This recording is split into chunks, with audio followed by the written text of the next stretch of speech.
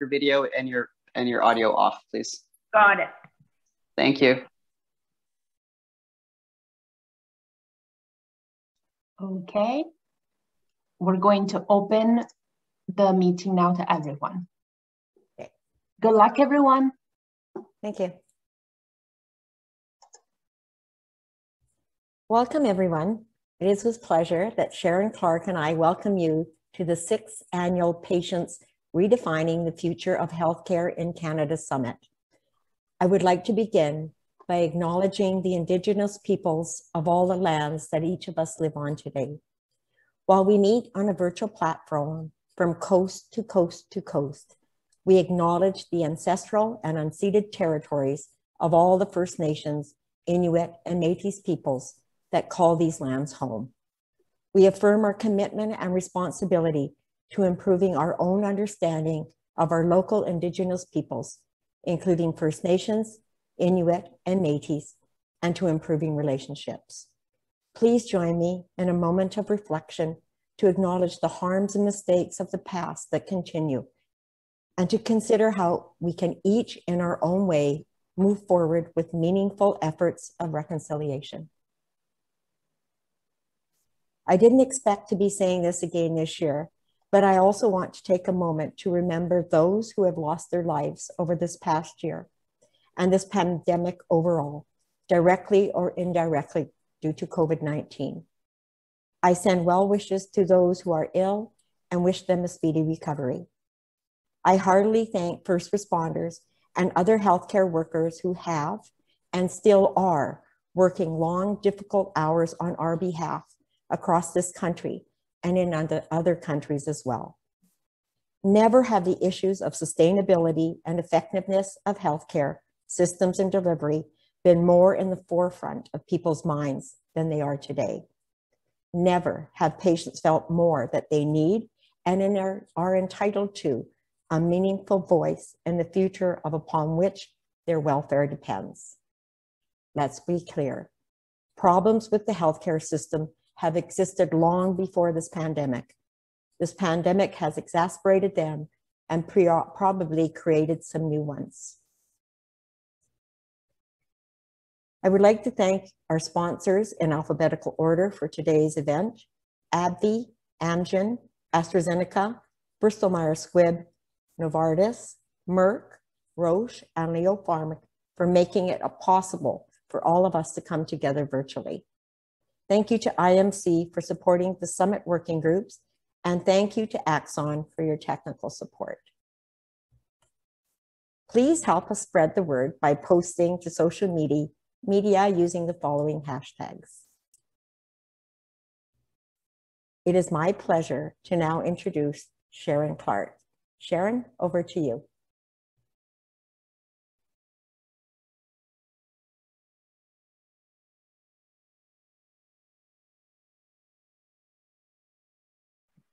Sharon. Sorry, it's Louise. Please unmute. No, I got it. I got it. Sorry about that, ladies and gentlemen. Uh, thank you very much, Kathy, for your words, uh, especially the uh, land acknowledgement. I very much appreciate that and uh, in the spirit of reconciliation. So thank you very much for that. Um, so my name, uh, as Kathy indicated, is Sharon Clark. I'm a Cree from the Jagaste Basin Cree Nation in Saskatchewan and I'm an advocate of health for all, and in particular, equitable health for Indigenous people.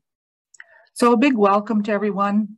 It is great to be here on this first day of this very important summit. Um, as you have heard, we have some wonderful speakers, and I encourage you to take every opportunity to engage, discuss, and let your voice be heard. As patients, advocates, and allies, we can help redefine the future of healthcare in Canada to better meet the needs of all. It is more important now than ever as the world deliberates on our future to be part of the conversation for our children and grandchildren and for the next seven generations. It is our responsibility to ensure that a healthy future is possible. We look forward to hearing from you to make this summit a meaningful step forward. And with that, I hand the floor over to Leah Stevenson. Thank you. Hi, everyone. I'm just bringing up my slides and hopefully they work correctly. There we go. I hope everyone can see those. Welcome once again. Um, thank you, Sharon. Thank you, Kathy. I just wanted to provide a quick overview of what will be happening over the next few days uh, today, and then a few housekeeping notes as well. So we're very excited about um, the speakers, panelists, and breakout conversations that we get to enjoy with all of you over the coming four days. Um, and today we are focusing in on echo pandemics in healthcare. As you know, our overall theme is echo pandemics. Um, you know, obviously, you know what has been happening as it relates to COVID nineteen and the impacts uh, of of the pandemic and pandemic responses. Um, so today we're focusing in on those echo pandemics in healthcare. On Wednesday, we hope you can join us for an incredible session uh, with on echo pandemics in Indigenous health. We have keynote speakers um, such as uh, Dr. Veronica McKinney and Marion Crowe, as well as uh, panelists from CIHI who will be sharing with us. On Thursday, November 18th, we move to Echo pandemics, the way forward.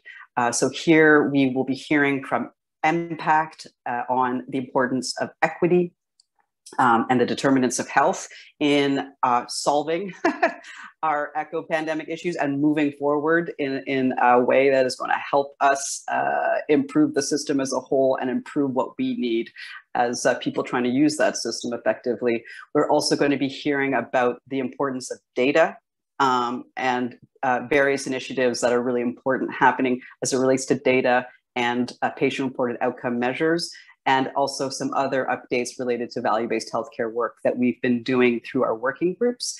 And on our final day, Friday, November 19th, is when our uh, those of you who are patients, caregivers, patient representatives with patient groups or caregiver groups, and we do have a few citizen groups that like to join us now as well. Um, you're all welcome to join us on Friday, November 19th, when we have more of a, uh, we have no presentations.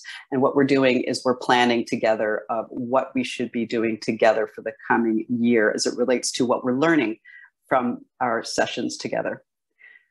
Today, as I mentioned, we're diving into echo pandemics in healthcare. And so we're very excited to have Dr. Adalsteinn Brown, who will be our keynote speaker with um, Q&A, and I will explain to you in just a second how you uh, ask questions. Um, then we will move to a panel with uh, a number of panelists who will be, uh, be providing perspectives of echo pandemics related to uh, chronic conditions, related to oncology, and related to mental health, in particular youth mental health. And then we have Dr. Craig Earle from the Canadian Partnership Against Cancer, who will be presenting uh, more on the echo pandemics in oncology and what the CPAC as a national organization is doing to begin to try to address them. And then we'll move to breakout sessions. And those breakout sessions, you don't need to do anything on your end. You will be automatically assigned to a breakout room when we come to that time. There will be a facilitator in your room, and there'll be some guided questions uh, to help you all synthesize what you've been learning together and see if there's themes coming out from what you've been learning and hearing. And then just some quick housekeeping notes. Um, during our plenary session, all lines uh, should be muted automatically. Your video should already be off. Please keep them that way. Um, during breakouts, obviously, uh, we invite you to unmute yourself and engage in the conversation. This session is available uh, in both French and English and is being recorded in both languages. If you want to access the French interpretation, please click on the world icon at the bottom of your screen, click on mute original audio, and then select French. Um, if you have a question that you would like to pose to any of the speakers or panelists, please click on the chat button at the bottom of your screen and type your question right into the chat, directed to everyone so everyone can see your question and then please press enter. Our moderator will keep an eye out for your questions and will field as many of, of them as time allows. And then finally, if you're having any technical difficulties, uh, don't hesitate to send a, a, note through the chat box to Axon Technical Support. You'll see that there's two folks named Axon Technical Support in, uh, in the participant list. You can chat to them directly and they will help you with your technical difficulty. Finally, um, I want to encourage everyone to please complete the evaluation. The, the link will be coming out after the event today. We'll have an evaluation after each of our days. Um, they are brief and we'd really love your feedback. It helps us get better. And finally, there will be an event report that will come out after the event is over um, and will be shared with everyone. We're also, the recordings will be posted and shared as quickly as possible through the event website. And that's all as it relates to housekeeping and the agenda. I am now very pleased to pass the microphone over to my colleague Louise Binder, who's the health policy consultant at Save Your Skin Foundation. Over to you, Louise. Thank you very much, Leah. I would like to start by echoing the sentiments expressed by Kathy and Sharon in their opening remarks. And I'd like to thank all of you for taking time out of what I know is a very exhausting and stressful period for all of us uh, to join and to talk about these issues today. I know that some of the material in this summit is disturbing, frustrating, and tragic it's hard to feel optimism. I, I like to think of myself as a realistic optimist, if there's such a thing. I know things are discouraging, but I know there are solutions. And I know for certain that patients, patient representatives, and caregivers are at the center of the solution to those problems. Working with stakeholders like our keynote speaker this morning, we can get through the pandemic and deal with the echo pandemics that it has caused. In fact, I think we can come out stronger and, in fact, become less fragile to disturbances in the healthcare system. Without further ado, I'm honored to introduce Adalsteinn Brown, also known as Steini Brown who is probably well known to many of you. He's a professor and dean, Dalla Lana School of Public Health at the University of Toronto, and has held many senior leadership positions in policy and strategy with the Ontario government, has had founding roles in startup companies and extensive work and has done extensive work on performance measurement. He received his undergraduate degree in government from Harvard University and his doctorate from the University of Oxford, where he was a Rhodes Scholar. Most importantly, for today's discussion, he is the co-chair of Ontario's COVID-19 Science Advisory Table. So with no further ado, I hope that Dr. Brown has been able to join us. Um, and uh, oh, he may he may in fact not have been able to join us yet. He uh, he was in another meeting and was actually uh, uh going to come in, uh, in, in a few moments. So um, Leah, uh, in the interim, should we see if people have any introductory comments or questions that they might like to ask? That would be a good place to start. So Steini will be joining us shortly. Yes, he's just coming from one meeting uh, to our meeting in order to present. So um, I think now would be a good opportunity uh, if I think many people know who Steini is. Certainly those of us in Ontario do, as he's been very prominent in leading our pandemic response. If people feel that they might have some questions that they're anticipating for Dr. Brown, we would welcome them. Um, at this point, I think we would welcome them in the chat. Um, so that we can make sure that we ask those questions of him when hopefully we have time when he finishes up. And yeah, I'm not sure if there are any. Uh, also, just so, so certain, certainly if anyone has any general questions uh, about the agenda or for any of us, um, please uh, feel free to ask them now while we wait for Steini to join us. That I will be pose one question just to make sure people are thinking about it a little bit. Um, one of the big questions from Ontario that I have is about how patients will be involved in the work going forward. So as moderator, Louise, just putting that out there as something to keep into consideration with um, how and, and what um, Steini Brown does have to say about that particular aspect of, of moving forward. That's So, great. We uh, also, So, just just um, uh, just to say uh, that uh, in preparation, of course, for his presentation, he and I had a, a good chat. Um, uh, uh, just the two of us, um, and I asked him actually about where have patients been uh, in the pandemic work. I just haven't seen them. Maybe they're there somewhere, but I haven't seen them. And he was candid that our systems, I am sure he will be candid again today, that our systems really uh, did not take that into account. And that the types, the, ta- the tables that have been set up, certainly in Ontario, uh, to work on the pandemic, um, probably could have uh, thought about that a little better. So, Antonella, thank you. I, I hope that uh, I, I hope that we'll have the opportunity to ask him to talk a little bit about that um, publicly, but uh, he did certainly concede to me uh, that he was aware that that was certainly a gap. Uh, and, uh, and, and maybe we can give him some suggestions uh, throughout the summit uh, as to how he can much better meaningfully engage uh, patients uh, as we go forward. So that I love that idea and I encourage people. Uh, so not only could you share some questions, uh, but if you have ideas around maybe potential uh, recommendations to include those in, uh, in your comments as well. Um, we also have a question, Louise, uh, coming about um, for Dr. Brown about involvement uh, uh, related to Indigenous health impacts, his involvement related to Indigenous health impacts of, uh, of the pandemic. So, and, and then going forward.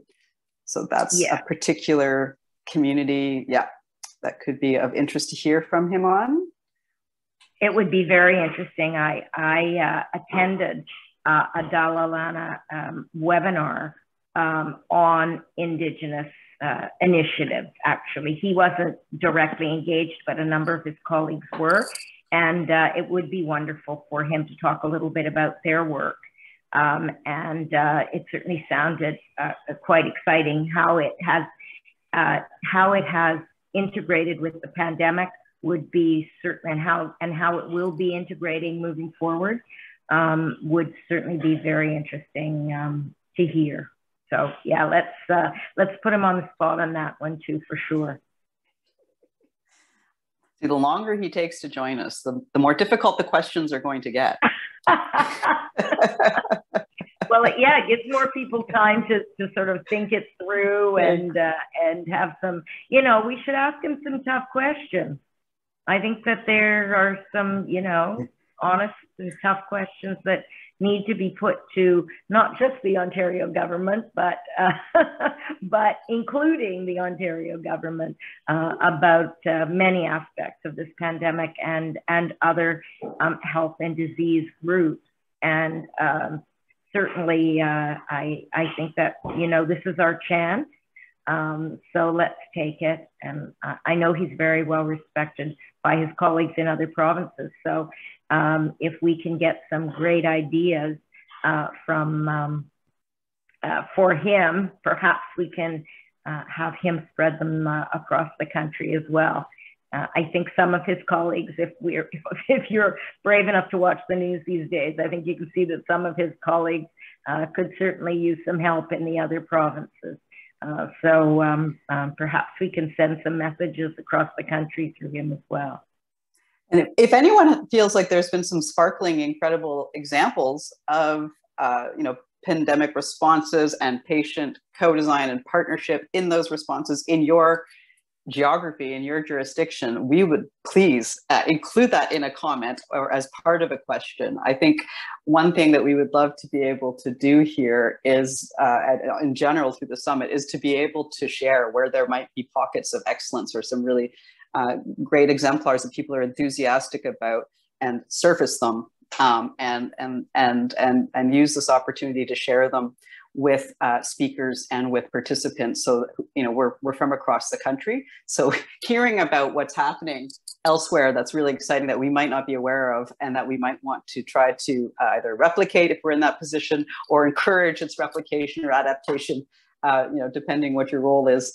Um, I would really encourage uh, people to please share anything that you think is very exciting that is happening in your area that uh, is relevant for the speaker and um, perhaps something that they should be doing themselves or that the rest of us would like to know about.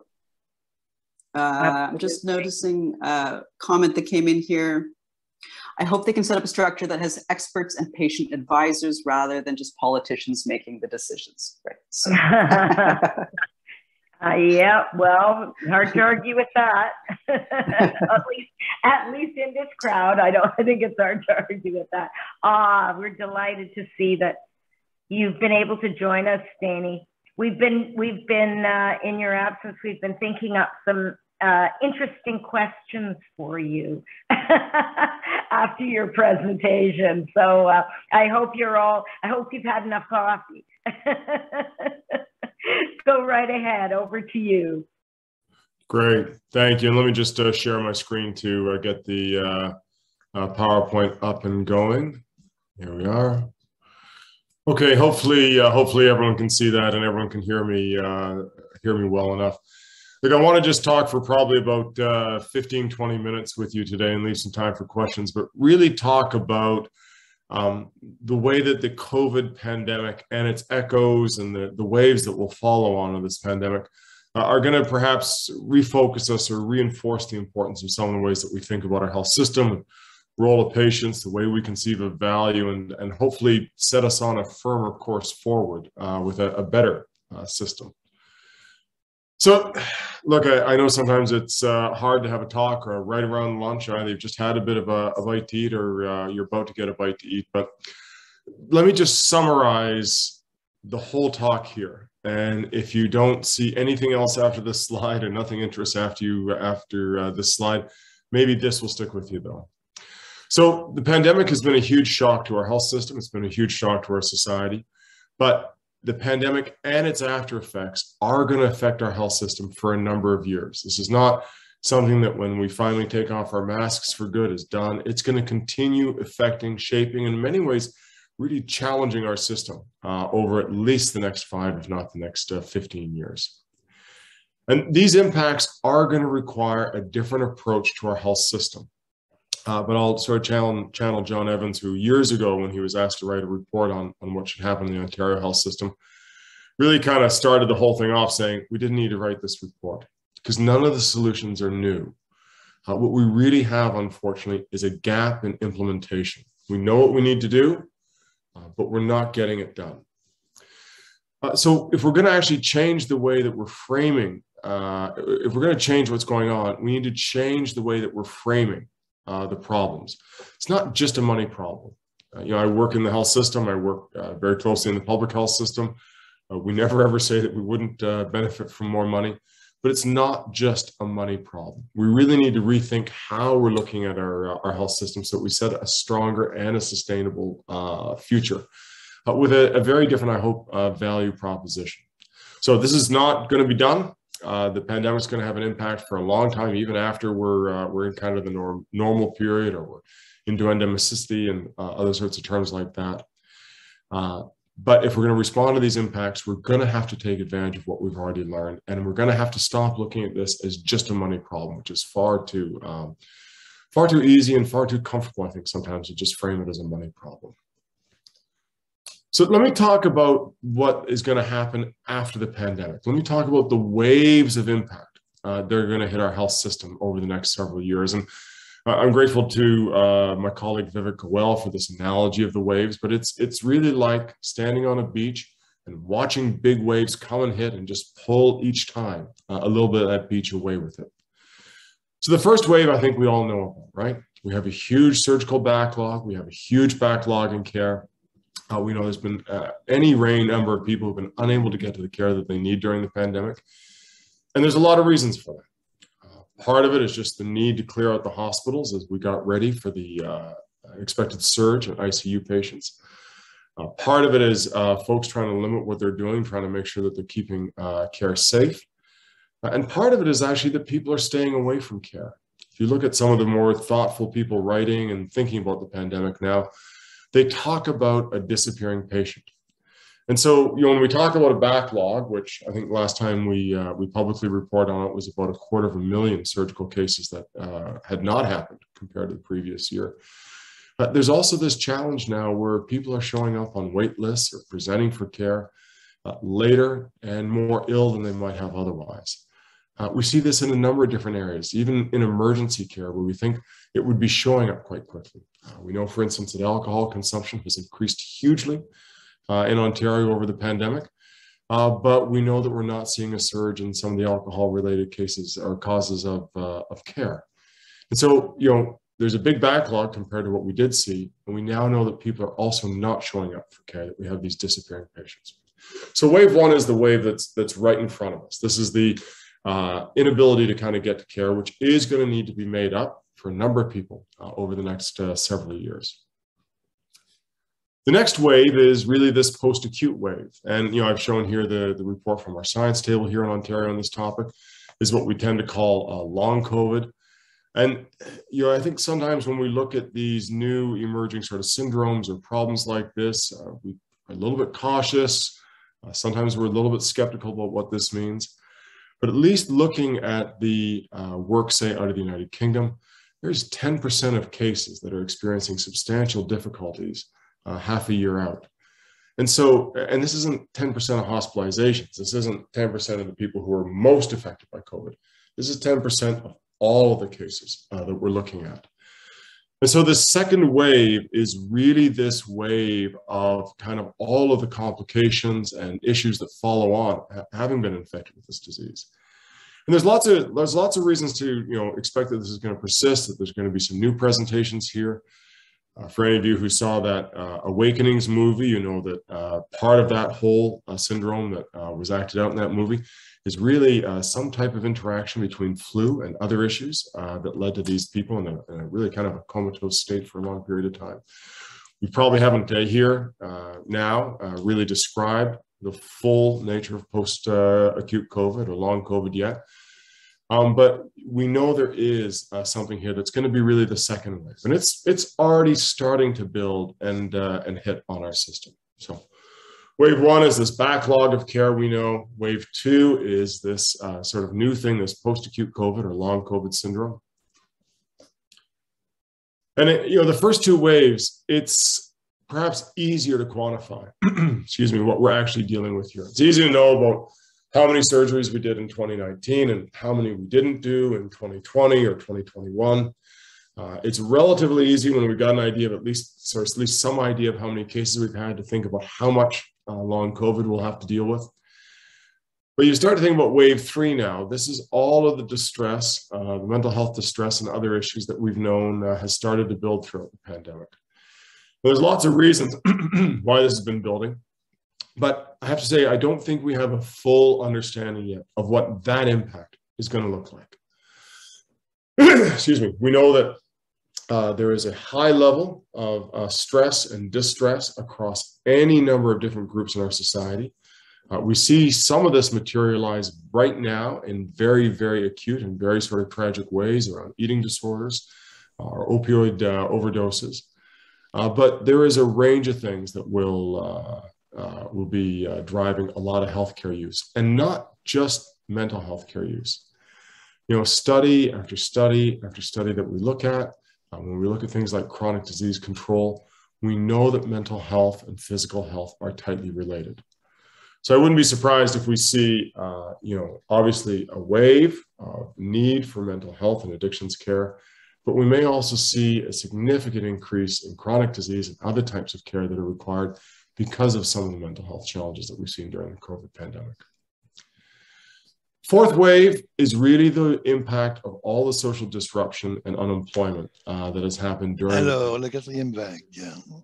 Bien évidemment, euh, ma collègue euh, un modèle très intéressant là-dessus. Voici euh, l'effet qui a été fait au niveau des perturbations au niveau social. Les gens ont perdu leur travail. Les gens ont vu leur compagnie sombrer. Et ça pousse les maladies chroniques.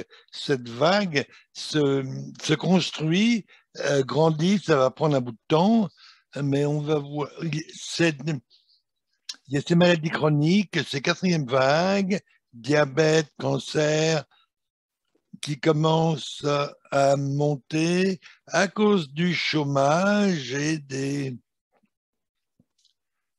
Euh, la vague 3, c'était la santé mentale. La vague 4, c'est surtout le troubles sociaux. Excusez-moi. Alors parfois, on regarde ça.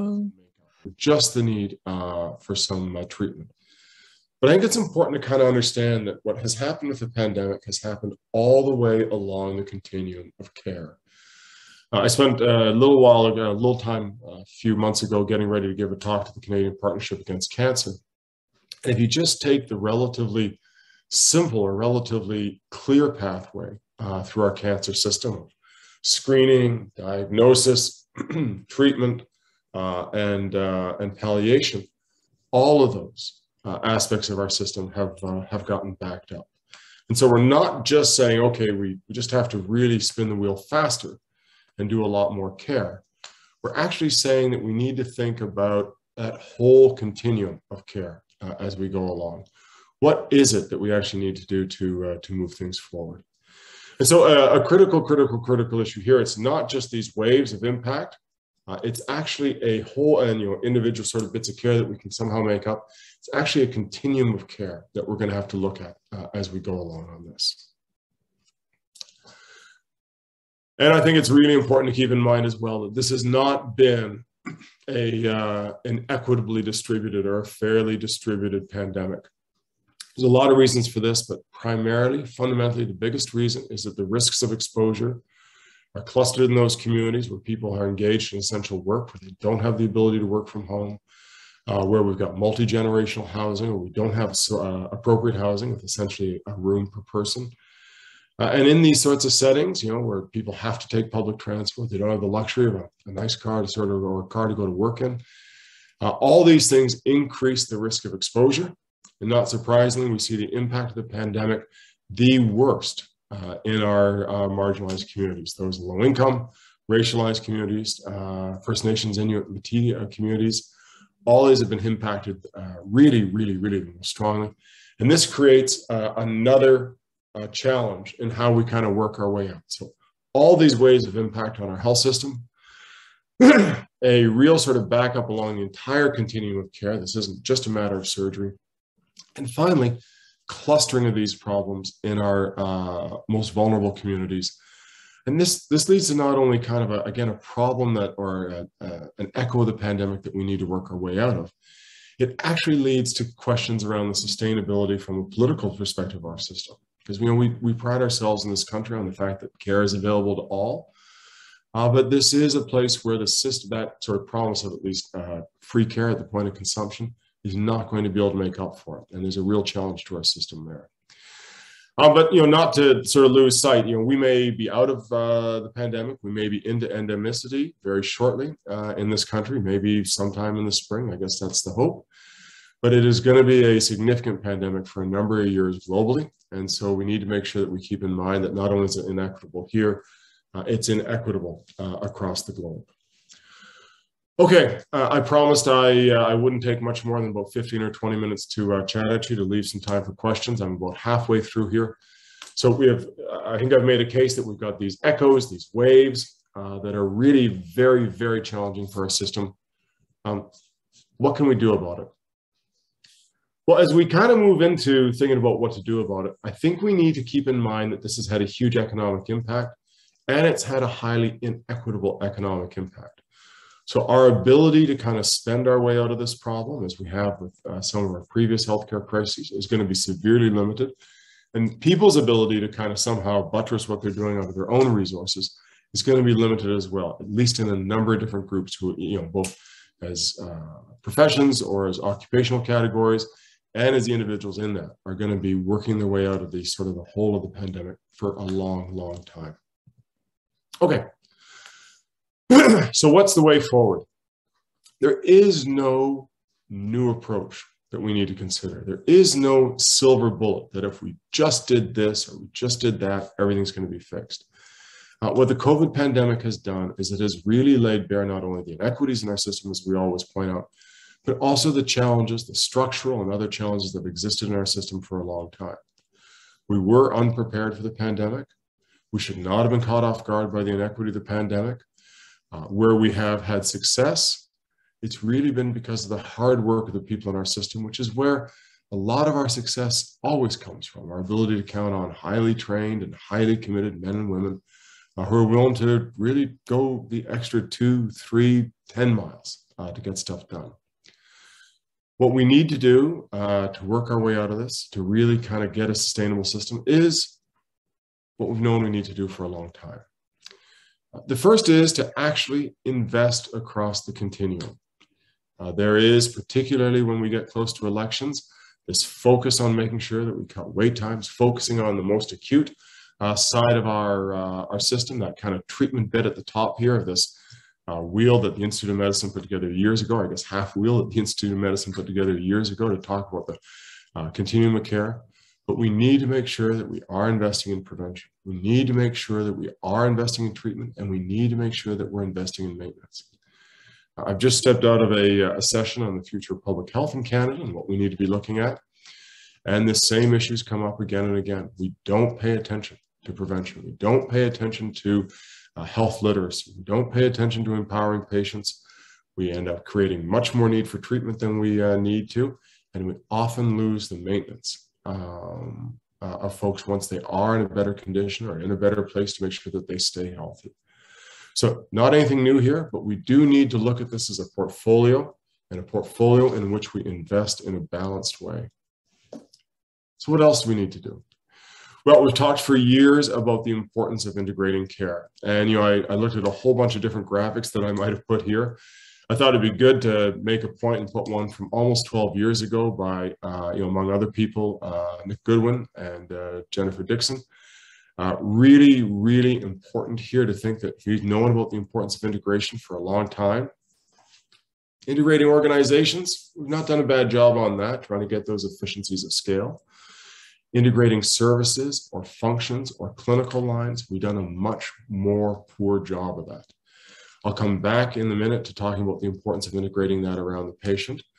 But it's interesting, if you look at some of the uh, nice success stories that have emerged from the pandemic, it's where we see community groups, uh, healthcare providers, even hospitals working together and getting out testing or getting out support or getting out vaccination in ways that actually communities can benefit from and pick up.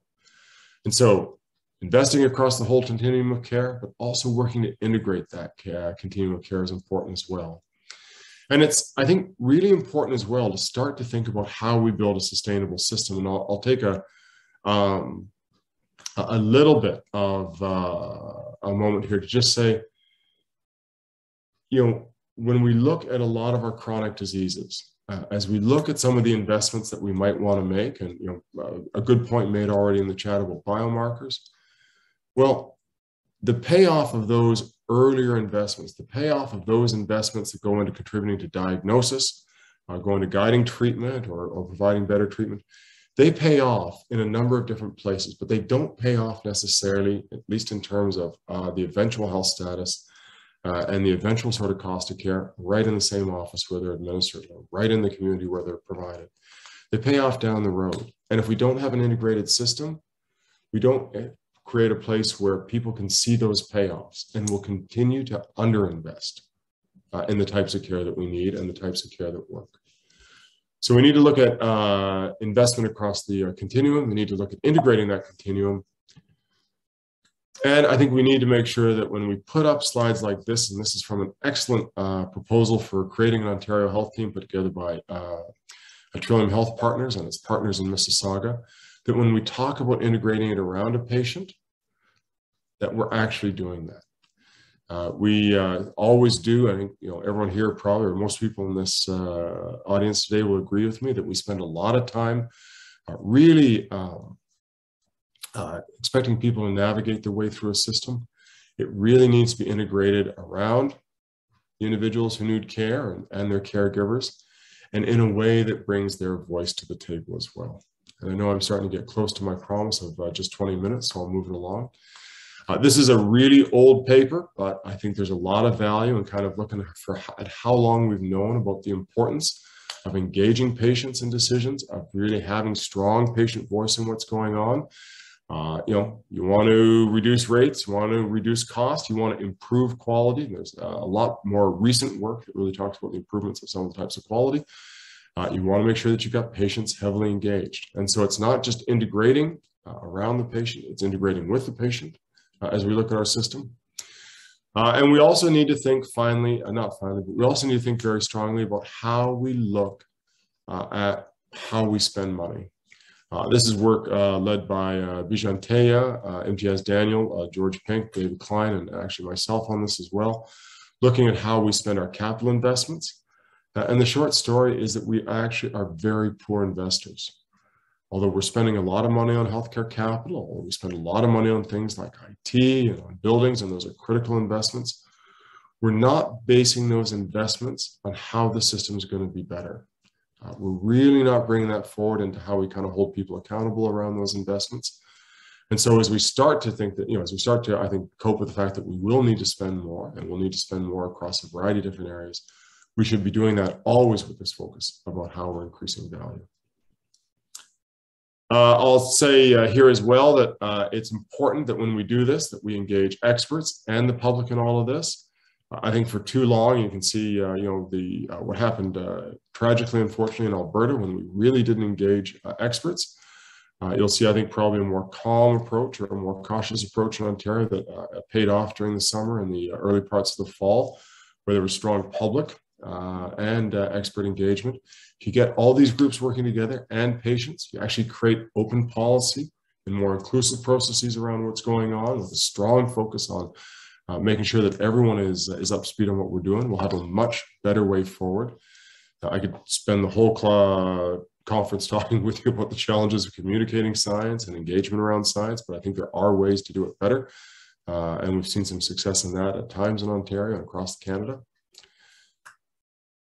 And I'll, I'll, just close here by saying, okay, uh, we know there's going to be huge impact. We know there's problems uh, that are going to keep on challenging our system uh, for a long time. There's no new answers. We just need to really focus on what people have been talking about for a while. Uh, but we've had a huge implementation gap. How do we actually get past that? Uh, and this is uh, from Stephen Peckham, my colleague Stephen Peckham in the UK and some of his colleagues. Uh, he makes the point that you know we get into these implementation gaps. Let's do something uh, that doesn't actually materialize. Sometimes we're optimistic, and I think willfully so. Uh, we're always struggling with working through a dispersed governance system where you've got individual providers, you've got hospitals over here, you've got agencies, you've got regions, you've got any number of different sort of ways we structure our system that splits things apart. Uh, I don't think that's going to change. So we have to cope with that dispersed governance. Governance. Uh, we do have uh, poor collaboration across a number of our areas, although when we do start to collaborate, we do a lot better. And political cycles often get in the way. It's uh, hard to get everything done that you might want to get done in a one political cycle. Uh, and we should always keep in mind that you know politicians are running for office because they think they're going to make uh, things better. So they want to hold office. They need to kind of engage in that political process. but there are ways to kind of get around these sort of big barriers to implementation make sure we plan for implementation.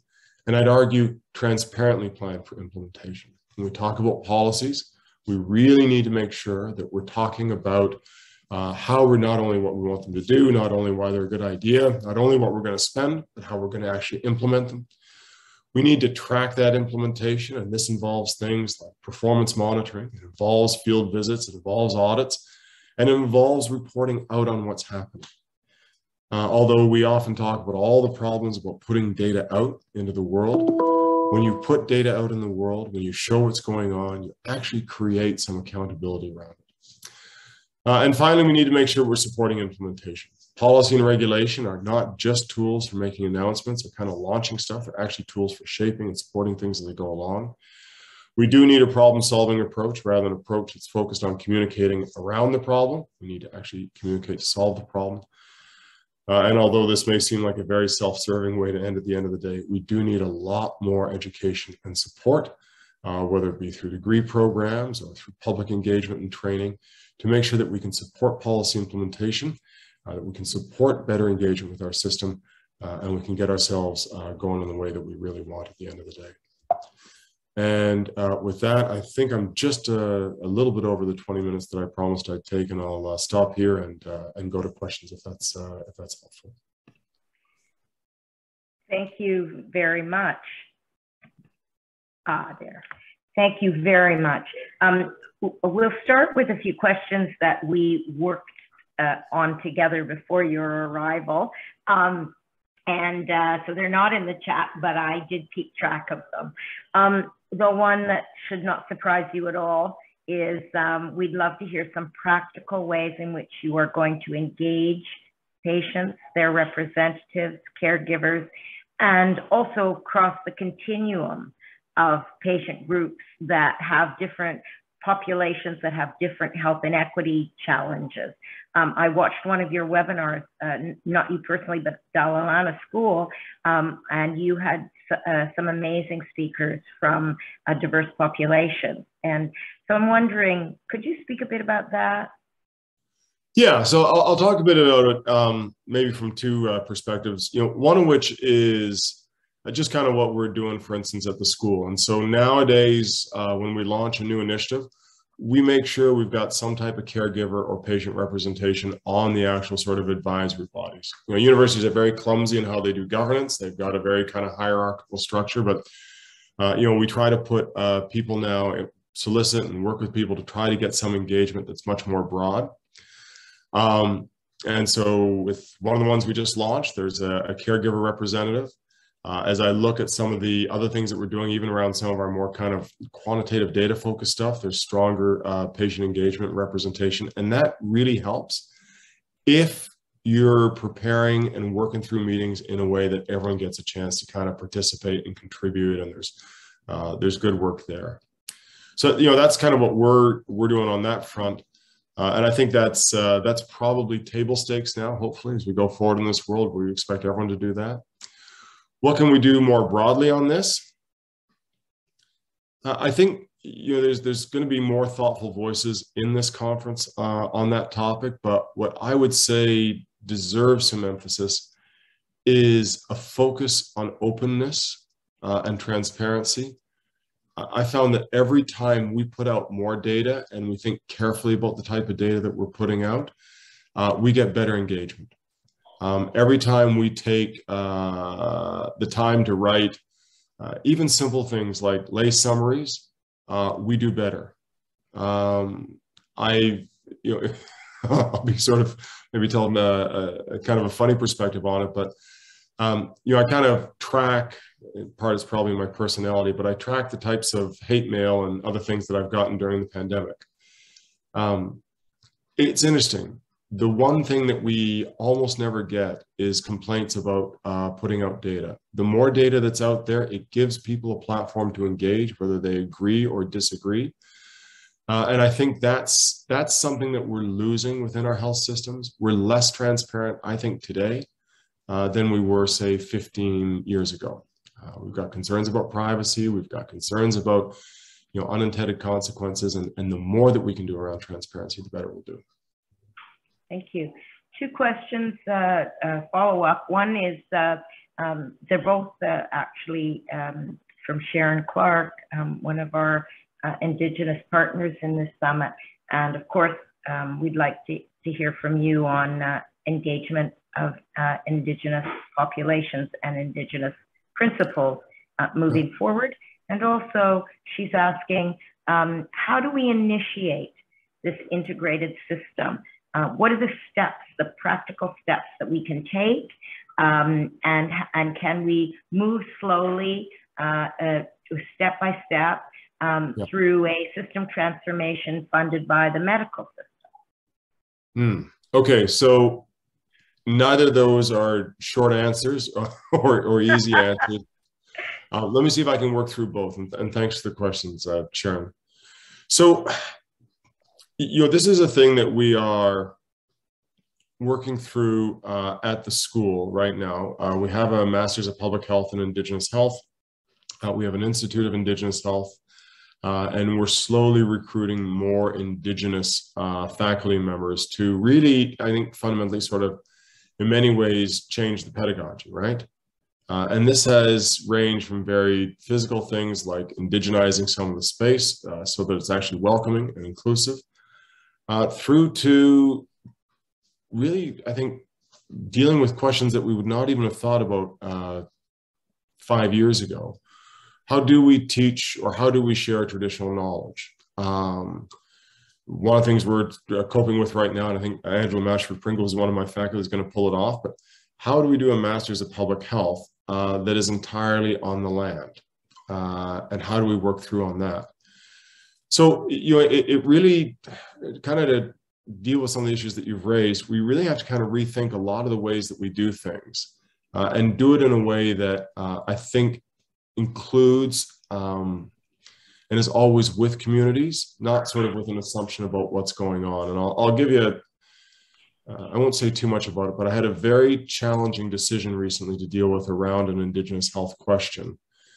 Um, and you know, my default mode uh, is always to kind of make the decision and and you know try to lead from there and everything else.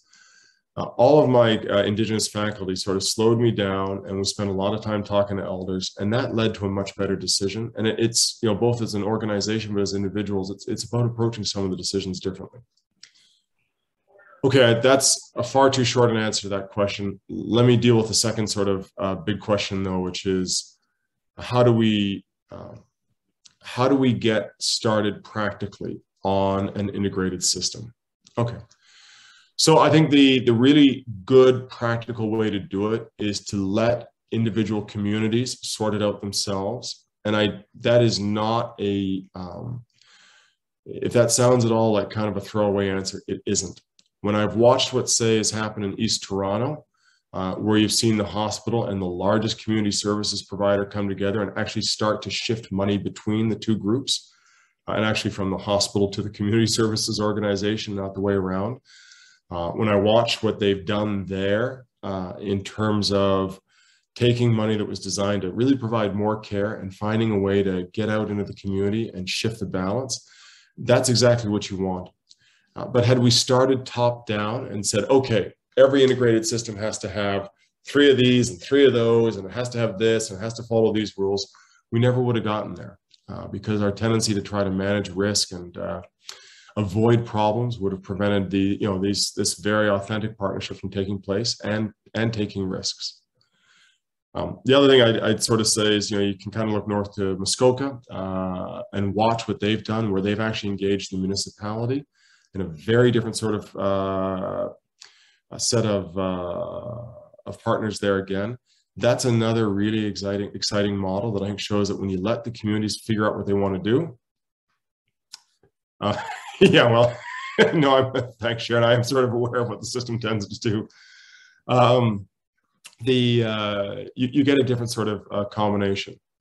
The cautionary example here is what happened in Manchester, right? So uh, there's just been some interesting reviews in the uh, British press about uh, the Manchester experiment, which was trying to bring together all of the health and social services in Manchester. And at the end of the day, they concluded it was far too much bureaucracy. It was far too much top down. It was far too much kind of rules about what you can and or how you should do stuff before figuring out what you want to do. And at the end of the day, it's probably not going to turn out to be successful. And I think the, I'm hopeful the ones that are a little more organic uh, are going to do a lot better here in Ontario. Uh, there's a question also in the chat about a challenge uh, to progress that that's related to the lack of common approach and understanding about measuring progress and yeah. uh, the, the potential for the use of the quadruple aim outcome. Uh, could you comment on that? Yeah, sure. I, I know we're running uh, short of time, so the, the short answer to this would be yes. Okay, uh, we just need to pick a lane on this stuff and get going. And I, I'll be maybe a little bit point of provocative here. about 15 years ago, we had uh, a standard set of hospital measures. We were moving towards a standardized set uh, of cancer measures. Uh, we had a uh, progress report came out for government with some standardized measures on that. And with the exception of some of the stuff on cancer, it's largely all disappeared now. Uh, and I think actually getting a good inclusive framework like the quadruple aim, you know, looking at uh, value to patients, looking at uh, the overall cost of care, looking at uh, the experience of care, looking at providers' experience is great, works really well.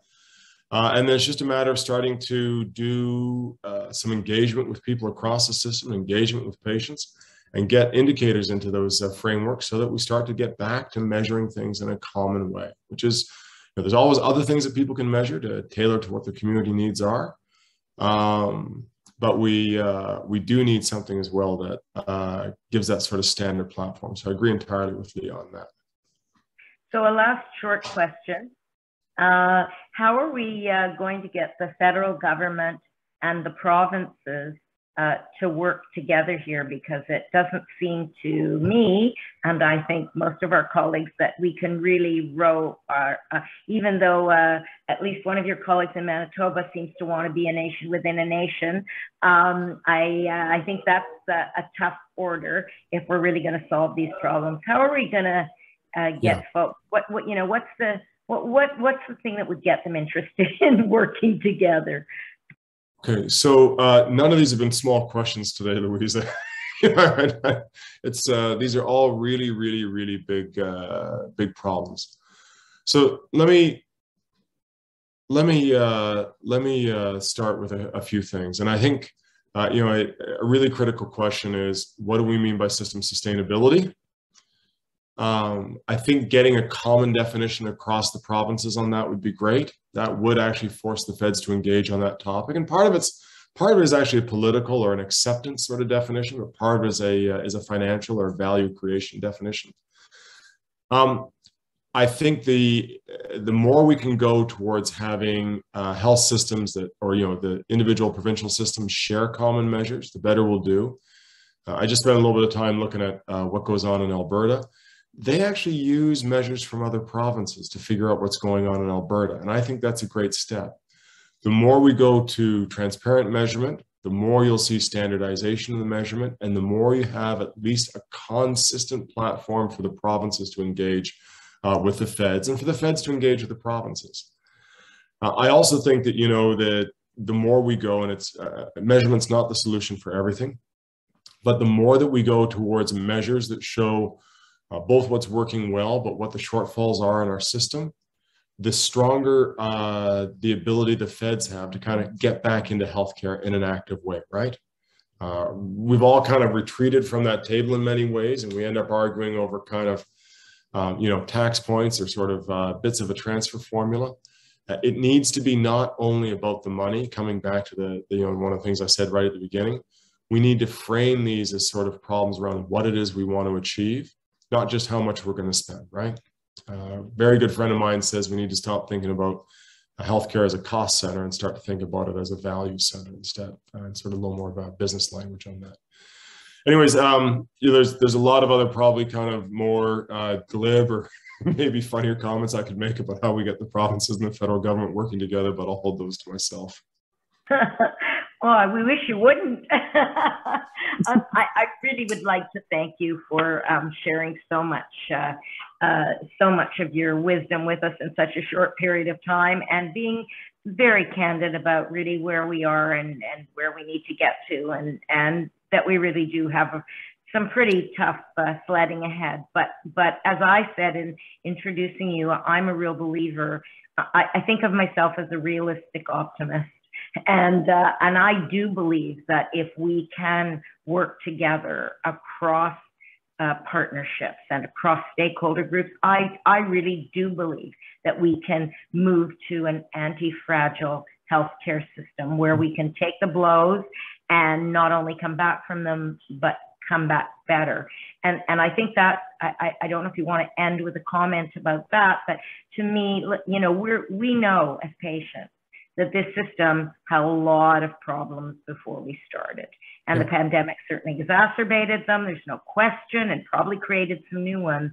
But uh, we we were in a deficit before we started, and I'm not just talking about money.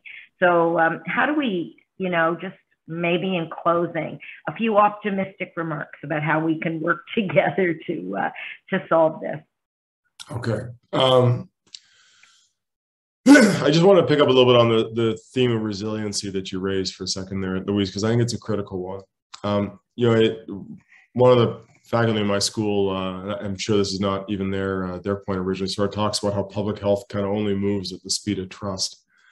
Um, we need to do everything that we can to kind of build trust into our system, and this is and this is, I think, you know, not sort of a uh, a Pollyanna-ish sort of statement, right? Uh, we know that when we look at the integrated care models in the states, uh, the more trust there is between the payer and the providers, the better those models work because they actually have that space to take some risks. They have that space to, I think, you know, do something other than just cower or shrink from whatever kind of blows are coming, right? Or try to manage around it. They can actually take some risks in managing.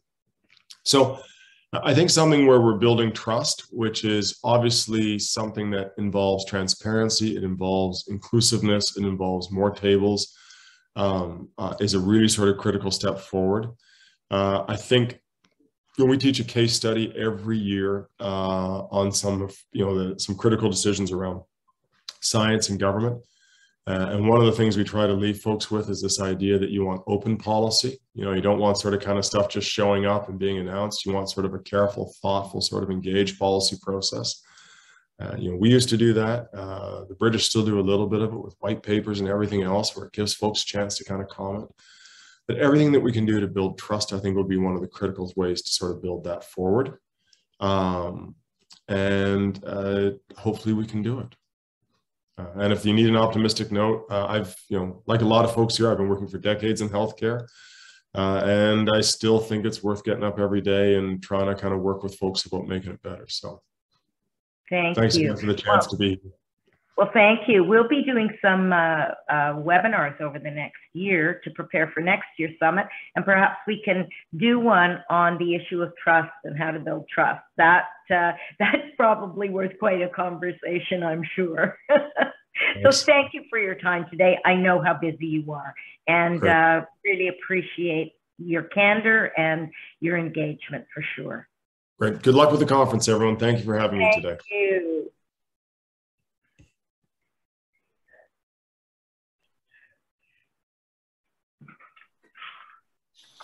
Thank you, Louise. Thank you, Steini. That was fantastic. I took a lot of notes and, and have some great quotes coming out of that one.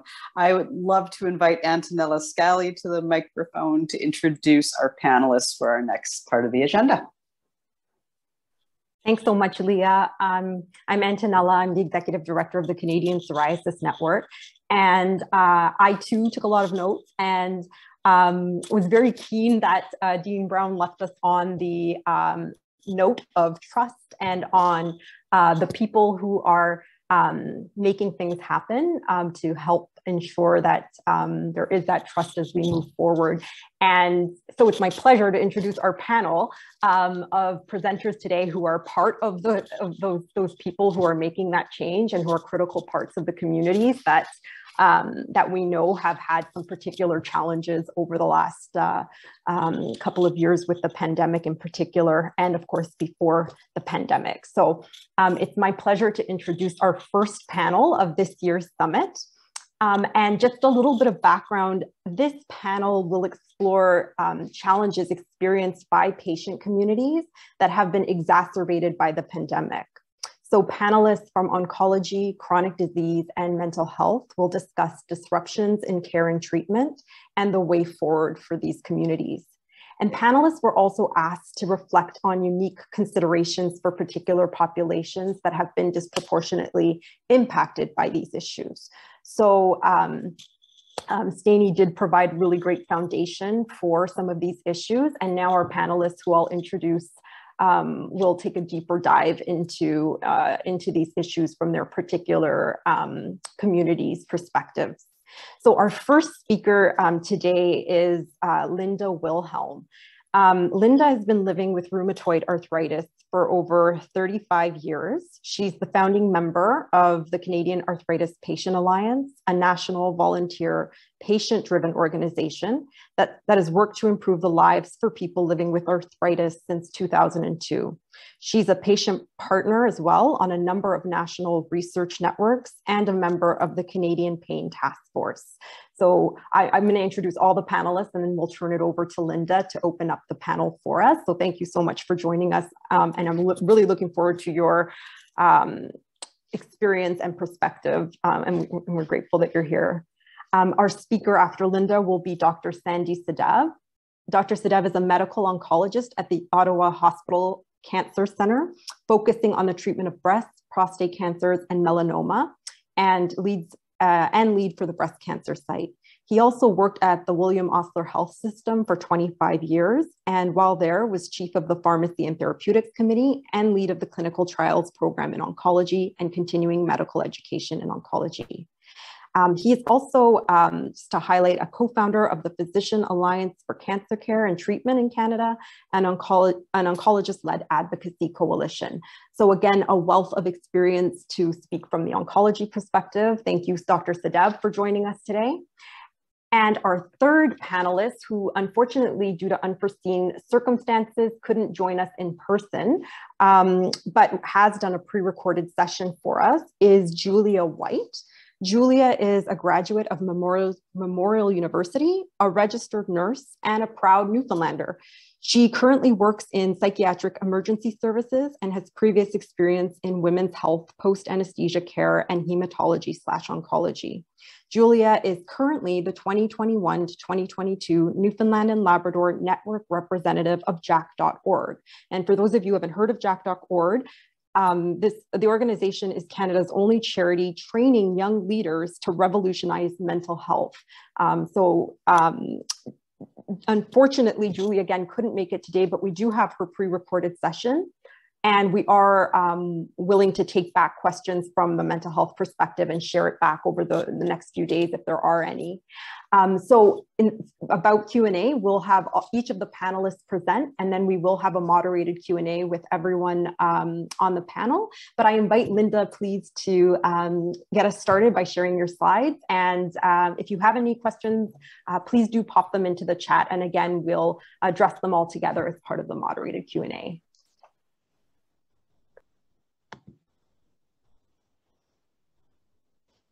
I'm just bringing them up here. Here we go. Can everybody see my slides? I'll put it in presenter mode. Looks looking great. Great, thank you. Uh, thank you for inviting me today. It, uh, I'm glad that uh, to be able to speak about some of our experiences from my patient community uh, during the pandemic. I have severe rheumatoid arthritis and I uh, was diagnosed in 1983, so I've, uh, I've lived with it for a long time. Um, I'd just like to acknowledge that I live on the traditional, ancestral, and unceded territory of the Wabanaki, Dawnland Confederacy, Mi'kmaq, and the Wolastoqey, Wassapequk, Maliseet. Uh, and I'm privileged to be able to work and live on this land. Uh, and there's no disclosures with regard to this presentation. So CAPA, Canadian Arthritis Patient Alliance, we're a national volunteer organization. We have no full-time employees. All of our board members are people living with arthritis. Uh, we were formed in 2002. We have been providing advice to government and research entities and healthcare providers on policies that impact our health.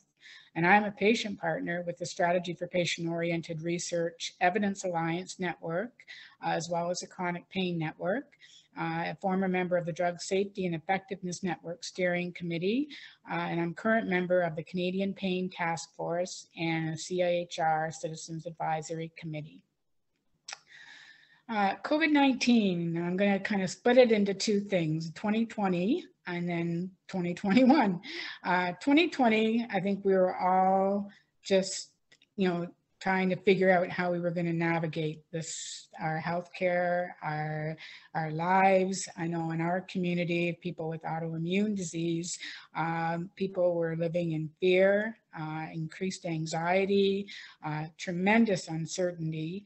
Uh, we didn't know how this COVID-19 would affect uh, many of us with other existing conditions and comorbidities where we've had lots of lung involvement. People think of arthritis, they don't think of it attacking your internal organs, but many of us are living with long-term lung implications from our disease and we just were not sure how we were going to manage this. And so we ended up being isolated. We didn't leave our homes. And when we did have to leave our homes, it was just a tremendous stressful experience every time we went out and we were talking to each other online. And um, I think with our community, it's, it's the, the stress was, was just like nothing we had seen ever before. Um, and, and, you know, we, we were isolated, so that affected our mental health. Um, and then 2021, we saw uh, the vaccine coming out and I think many of us were given that little bit of glimmer of hope that, you know, this vaccine uh, would, would help us resume some kind of normal life. Um, unfortunately, we got a lot of mixed messaging. We saw in the UK, people with autoimmune conditions were a high priority for vaccination. Our National Advisory Committee on Immunization had recommended that people with autoimmune disease not be immunized because the vaccines were not tested in clinical trials on our populations, which is no surprise because no vaccines are ever tested on our populations but that really was a difficult thing after a year of isolation and fear and the stress uh, to be managed, you know, to be told that, no, you know, you're not a priority for vaccination. And, um, in, you know, it was just, uh, just something that our population really had trouble trying to manage. And, you know, we, we heard about all these treatments for COVID-19 and, you know, uh, Donald Trump in the States put forward hydroxychloroquine, uh, which is a drug used by people with rheumatic diseases and for, you know, decades and decades um, and very effective drug. I'm on this medication. Uh, but when um, started being touted as a COVID-19 treatment, we were having trouble getting our prescriptions refilled. We were limited to one month at a time. We had lupus patients being told that they couldn't have it, that the supply was being diverted to COVID. And then all this with no evidence to show that uh, hydroxychloroquine was even effective. And then subsequently, after we were working with Health Canada to try to manage the shortages and get a dependable supply for our patients, it came out that the drug was actually not effective at all in COVID-19. So all this additional stress for our patients was for nothing.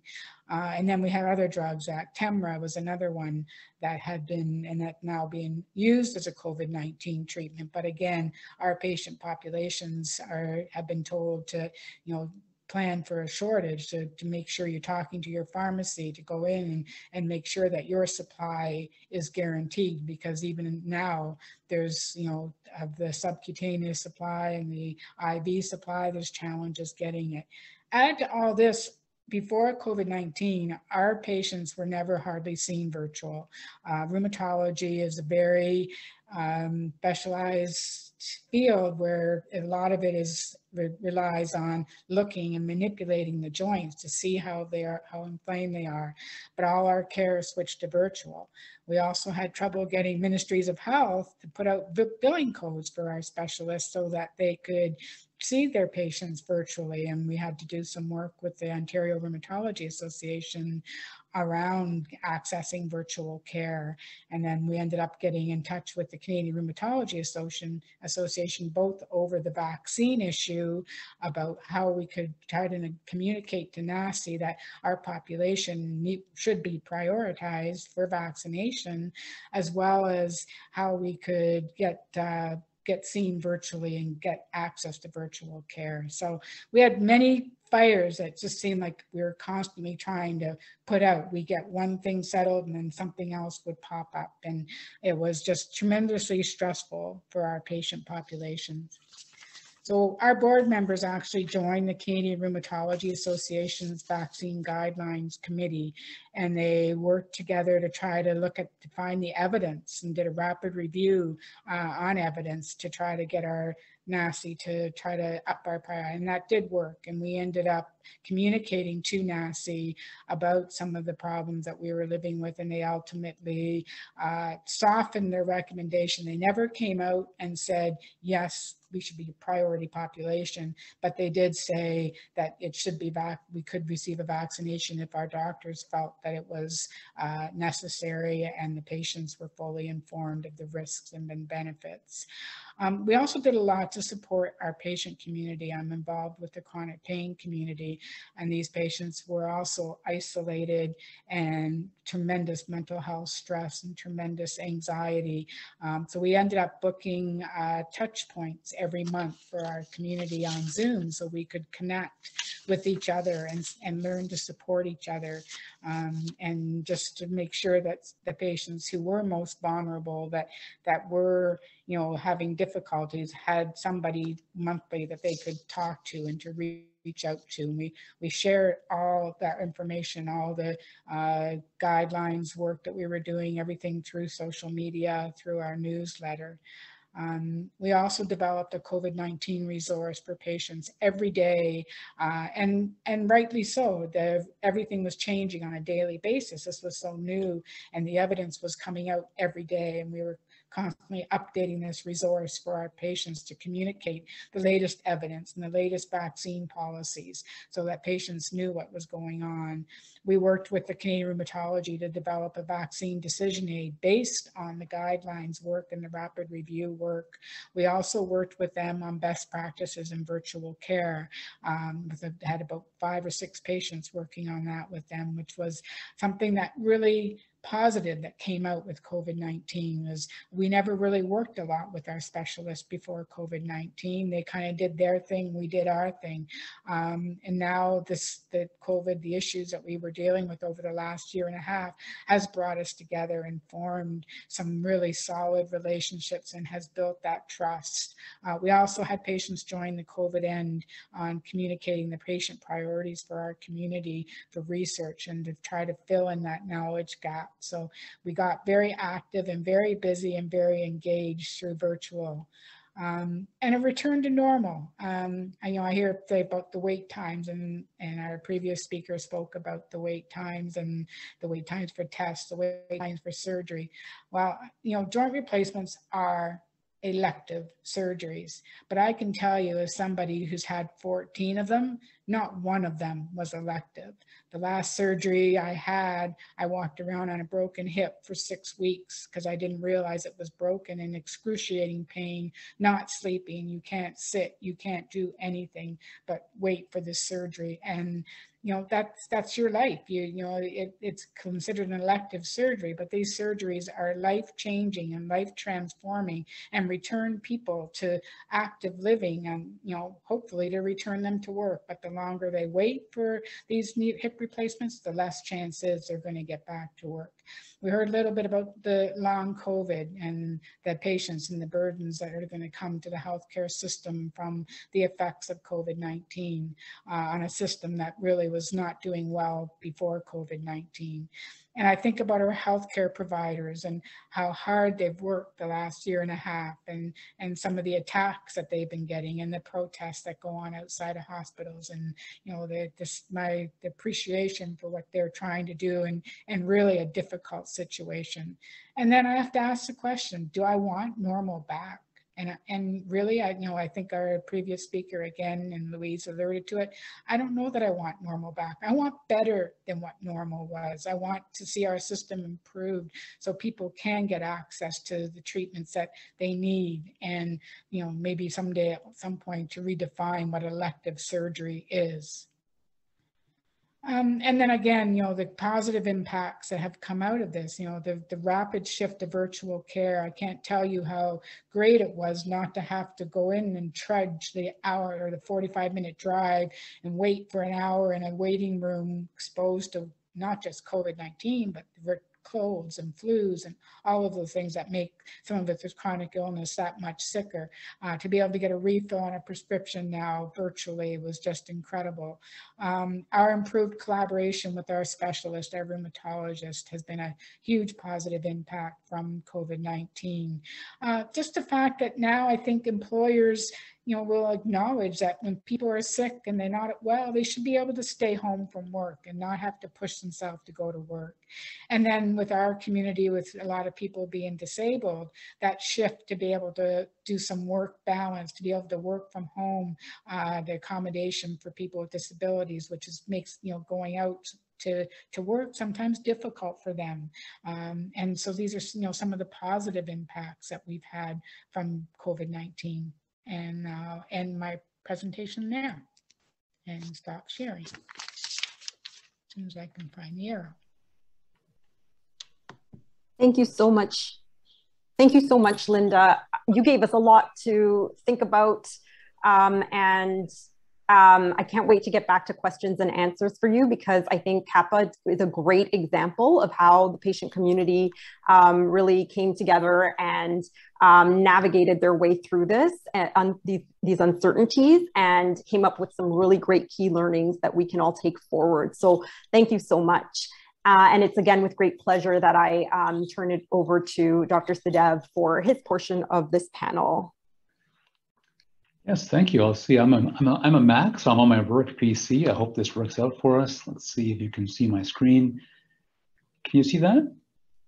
Yes, we can. Thank you so much. Just perfect. How do you see it now in presenter view? Looks great. Oh, fantastic. Thank you. So thank you also for inviting me. Uh, I learned a lot from the previous two speakers especially, and I've been learning a lot from our patients. I hope to share with you some general observations before our full discussion. So this is just to set the stage. This is a very actively researched area. How, how did COVID affect cancer care? What was the impact both psychologically and medically on the outcome of our patients? And I've listed some seminal publications over the last one here just for your interest to set the stage. But one big impact we've all noticed in the beginning is marked fluctuations in our patient volumes. We actually budget in our clinics for an expected volume of patients based upon previous years and demographics. And because of delays in diagnosis and access to screening tests, for example, being curtailed, the government in Ontario stopped even sending reminders to healthy women that you're due for a mammogram, for example. So they kind of really fell off the um, uh, off the plate uh, for many patients. Ultrasounds were tremendously delayed, and as part of a workup for breast cancer, for example, it caused often a month or two delay for patients getting diagnosed. There was tremendous fear of testing, fear of exposure to COVID in the early days, despite the fact that the hospitals tended to be by far cleaner than most uh, grocery stores and other uh, places people were going to. So we had trouble matching our manpower to the need. There were massive surges and voids of new patient volumes. Uh, in the beginning, we had a decrease in volumes of our patients that later led to an increased surge when the diagnoses came afterwards. We also did indeed see more advanced disease at presentation. Patients were frightened to see doctors, they downplayed their symptoms, they weren't being screened. And by the time a cancer came to diagnosis with symptoms or more overt signs, uh, it was often larger. So we give the example, we call them the T stage, the tumor size was often larger when first found instead of being uh, picked up incidentally on a scan. Patients with locally advanced cancers often have a much poorer prognosis than those that are caught early. We had a big impact on clinical trials. The, the access for our patients in Canada to trials was really put on hold because clinical trials coordinators and support staff were not able to come into the hospital to support the operations of studies. And clinical trials in Canada aren't just about getting access to experimental and new therapies, they are a way for our patients to access costly drugs that in Canada take one or two years longer than they should to get funded and available to our patients uh, through routine mechanisms. There's tremendous psychic distress, and I don't shouldn't underplay this. Uh, the staff was tremendously worried about their own safety, their own families, or the ability to cope if they suddenly had to be off work for a positive test or an exposure. Um, doctors were very anxious for our patients presenting with more advanced stages of diseases. There was tremendous uncertainty, more so in the pre-vaccine era, that wasn't that long ago. And for inpatients in hospital, we had this really sad situation, the patients coming in without COVID, but sometimes leaving with it or dying of it because of exposures, thankfully very rarely, but they did happen. On the bottom right, you can see a table that was uh, set up by the government where we all had to spend hours every night before clinics to try to triage all of our patients preemptively because if we had to shut down or there were staff shortages, we had to identify what patients could selectively be deferred or canceled and what uh, should not be. And that posed a lot of distress for us. For early disease patients, there were disease uh, delays in surgical treatments. We had to invent new uh, approaches to bridging patients to control their cancers, sometimes with hormonal therapy or chemotherapy to buy them time until they could have definitive surgery. We often give chemotherapy before surgery, in, for example, in breast cancer and rectal cancer. The application was unchanged, but we did it more often because patients were presenting with larger tumors. And adjuvant chemo, chemo, chemo given after surgery to prevent death from spread later was being utilized less because patients were frightened of lowering their immune systems in this new COVID era. So more might die of disease recurrence. In the metastatic disease setting, where patients often are not curable, we were shifting to more hormonal therapies for prostate and breast cancer as opposed to chemotherapy. I was really impressed, thank frankly, though, with the resilience of patients realizing that the most important treatment for them was the best one for their cancer. So we didn't see a lot of patients refusing chemo where it was felt to be optimal. But there was tremendous uncertainty about the safety, and we really had difficulty evaluating patients who were doing things virtually. We really couldn't tell whether they really fit for treatment or not without an in-person assessment in the early days. Virtual care did provide benefits, as mentioned on my last bullet here. I think hopefully it will stay. To have to come in an hour and a half or two hours just to discuss a test result may not be necessary, but it also caused tremendous disconnect from patients in the early days. In cancer, we really, really rely upon that um, feeling of trust and of understanding of each other's perspectives when we when we have a relationship with our patients. Um, often they were, were seen virtually, they were booked for treatment, and when they came in, they were found to be too sick by the nurses in the clinic, you know, to have treatment, and we had to change our whole plan. And it was really distressing that they could not come in with relatives. They need their families present as an extra pair of ears to understand their treatments, understand the approach, what side effects to watch for. With all the stress of cancer, usually it's hard for patients to take everything in. And we really miss that. And now, thankfully, we're getting back with families coming in again. The inpatients, not just the risk of dying of COVID, but when they're in the hospital dealing with difficult cancer, emergencies, complications, toxicities, or end-of-life care, being isolated from their relatives was really, um, uh, really uh, heartbreaking to see as caregivers and, and physicians and nurses. Um, the teamwork issue also was an issue. We, we really rely upon family doctors as part of our teams to do interval assessments, home visits, to assess patients between our assessments, and they were not really providing routine access to visits. Home care was quite limited. I even had an in-law uh, in, in southwestern Ontario die of lung cancer at home. Even though her daughter was a social worker, they were unable to get home care. And thankfully for her, she didn't have a long period of a final decline or suffering. She passed away fairly quickly and the family was able to cope. To this day, we're having trouble getting home care quickly for our patients. My last slide is just to show some graphic information. This was a study from McGill looking at mathematical modeling, predicting what the impact might be on mortality from cancer over the next roughly 10 years. And it's based upon the, um, on the top left, you can see there were fewer cancer diagnosed in the early part of the COVID era, more coming in later as they finally hit, hit the diagnostic stage and came to us at a later stage. But this is going to impact long-term outcomes. If you take the base case that there's a 1.06 hazard ratio, so a 6% increased risk in mortality from cancer if the diagnosis is delayed by two weeks. And you look at the delays we're actually seeing, we expect there may be, let's say assuming we don't even have any loss of capacity, a 396,000 life year loss over the next 10 years from the cancers that we've been having diagnosed coming to us too late. On the right, we can see it broken down by different disease uh, subtypes. Um, but it, it is going to have a tremendous impact on the delay in diagnosis because of screening, availability, access to screening technologies, and that's going to hit us for years to come. So with that, uh, thank you for your attention, and I, I look forward to our discussion.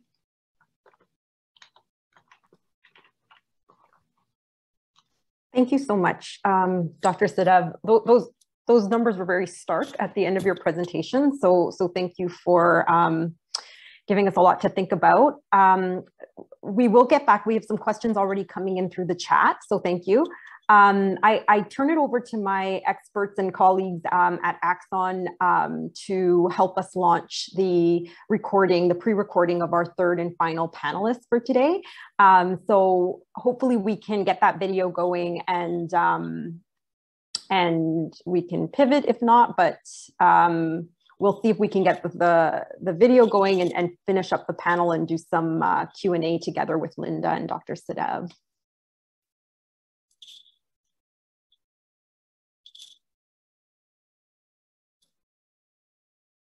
Just a reminder to everyone too, as, um, as our, our colleagues are, are assisting with this, um, if you have questions, please pop them in the chat. You can send them uh, for everyone. You can direct message me as the moderator. Um, and we'll again be sure to get to as many as possible. Uh, if we do have any questions from the mental health presentation that we're going to view, um, again, we'll do our best to get answers and, and present back um, what we learn over the course of the rest of the summit um, because we don't have our third speaker here live with us.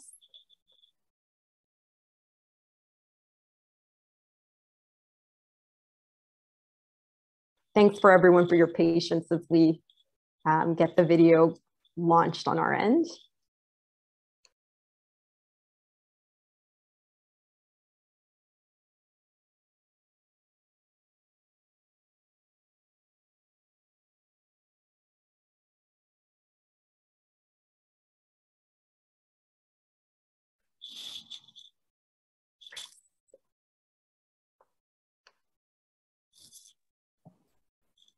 I do have a quick question for Dr. Sehdev. Thank you, Sharon. We can get, we can definitely address it as we wait. Okay, yeah, while we wait, um, can you suggest a way to alleviate some of these bottlenecks? Sorry about my typo there, but um, you know, the fact that that we're putting off some of these, uh, you know, in terms of COVID and some of these other um, issues. I don't have an easy answer. Uh, Dr. Jean Seeley is one of our radiology leads here. I think it's really been a radiology and OR issue, uh, not a medical oncology issue, but it's certainly affecting us. I think really we need we need commitment from governments to add resources. Uh, there are there's a backlog of of tens of thousands of scans that needed to be done in the last one year that have been bumped. Maybe for follow up of something we think is benign but needs an annual review they weren't felt to be high priority. We need to ramp up our options for you know late time, 24 hour access to scans, uh, operating budgets to accommodate that backlog. Uh, right now, if we have patients with cancer where we have to do scans to see how their cancer is responding to therapy, even they're being bumped back uh, too long. And unfortunately, we are really facing a deficit of access to technology uh, for cancer, really uh, in Ontario, at least for years before we had COVID and now this has been greatly exacerbated. I think there have been efforts from patient groups liaising with government to really emphasize the need for, uh, you know, for this kind of emergency access to enhanced um, um, resources. Thanks so much, Dr. Sehdev. Um, and actually on that point, um, maybe as we wait for uh, our tech piece to uh, pop up, Linda, I can direct a question to you if that's okay. Um, how how would patient engagement have helped alleviate some of these issues for your community and patients in general? Um, do you have any perspectives that you could share on on yeah, that? yeah i think uh, you know initially i think if uh, NACI, the national advisory committee on immunization if they had had some kind of way to facilitate uh, patient input into their decision making, um, they would have understood. Like even our own rheumatologists, when uh, and it was Don and Lori were on the rapid review, um, they didn't even fully understand you know what goes on in, their own patients you know like, they were so they thought we were all so afraid to get vaccinated because the vaccine might have might might cause a small flare in our disease we weren't really concerned about small flares because we managed those our whole lives. I mean, that that's our life. We've lived with this disease for 40 years. You know, I could wake up tomorrow and not hardly be able to move, I know I have to manage that for a couple of days. And if the vaccine caused that, which it did, then, you know, I, I try to plan my life and I will say, okay, for the next couple of days, I'm going to just kind of relax and take it easy. And then I come out of it and I'm protected against COVID-19. We were far more scared. Most patients were far more scared of COVID-19 and what did end up in the hospital on a ventilator. Um, and, you know, quite frankly, during some of the really bad times during COVID, we were scared about the, the triage protocols, you know, you know, somebody like me who's got, you know, lung involvement um, presents to a hospital with somebody who's, you know, 21 and perfectly healthy, you know, and there's only two ventilators there, you know, who is going to get that ventilator? And, you know, we had really frank discussions in our community about, you know, do I really want to go on a ventilator? Do I want to, you know, see what's going to happen with long-term COVID for the next, you know, 10 years of my life? And, you know, there's just such horrible, hard conversations that had to happen, I think, where you, if you don't include the patient in those conversations, and you just don't get the full picture. You have a whole piece of it that's completely missing and patients priorities don't always and like in our community line up with what the specialists believe Thank you so much, Linda. Such great perspectives and great examples of like precisely the kind of thinking that the patient perspective brings into these conversations. Um, and as we as we address those backlogs that Dr. Sehdev spoke about, how important it is to ensure that those values are being integrated into our thinking. So thank you. Um, it, I've gotten word that our video should be good to go. So I am going to pause Q&A just so that we kind of stay on schedule for people who might be stepping away from their computer uh, and, and want to be back for Q&A. Um, so um, thank you, Melissa. I, if, if we're ready, um, can we go ahead and play uh, Julia White's presentation and then we'll, we'll go back to some questions.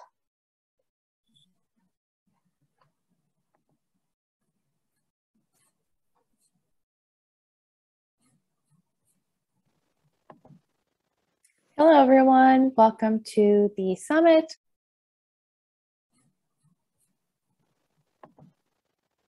Hello, everyone. Welcome to the summit.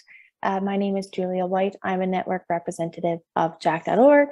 I'm very grateful to have been uh, involved in this summit today. Unfortunately, due to some unforeseen circumstances, um, it has to be a virtual video on my end, but um, maybe at some point in the future, I can be uh, live there with you.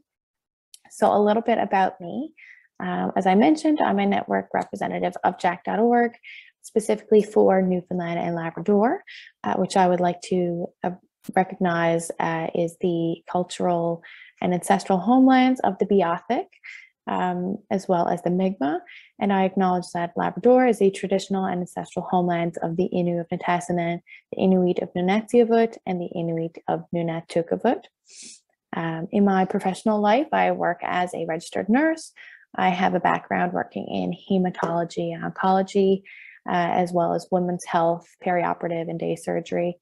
Uh, and now I work in psychiatric emergency services, which I have worked in for the last year. Um, relates very well to my volunteering with Jack.org. And I'm also involved with the Mood Disorder Society of Canada. So uh, I have lots of experience in the mental health field. Uh, so what is Jack.org? We say that we are young leaders revolutionizing mental health. Um, so Jack.org is a national uh, charity which undertakes the youth first, inclusive, impact focused um, view of, of our um, work. We are impatient for change, and we are Canada's only charity that is training and empowering young leaders to revolutionize mental health in every province and territory. Um, so I'm lucky enough to be coming to you from Newfoundland and Labrador, and there are um, 13 representatives, um, such as myself, from across uh, different provinces in the country. So who are we? We have Jack chapters, Jack talks, network representatives, which is my role, uh, and we have Jack summits as well. So Jack Talks are professionally trained and certified youth speakers that use the power of personal stories to inspire, engage, educate, and equip young people to take action in their communities.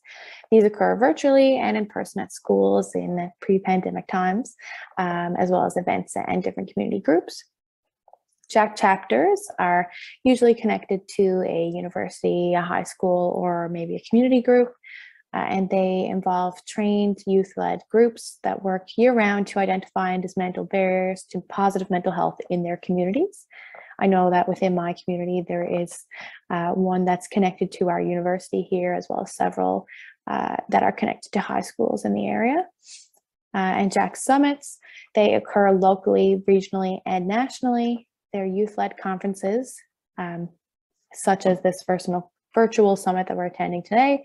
Um, they are designed to connect young mental health advocates and build their leadership and advocacy skills so they can implement real strategies for change. Most recently, we had the Atlantic Jack Summit, which I attended uh, virtually this past weekend. Um, so that brought together delegates from all the Atlantic provinces, um, and we had keynote speakers. There was a musical performance, workshops, and collaboration sessions. Um, and once a year, the National Summit uh, happens as well, virtually for the past year, um, and hopefully somewhat in person um, the next year.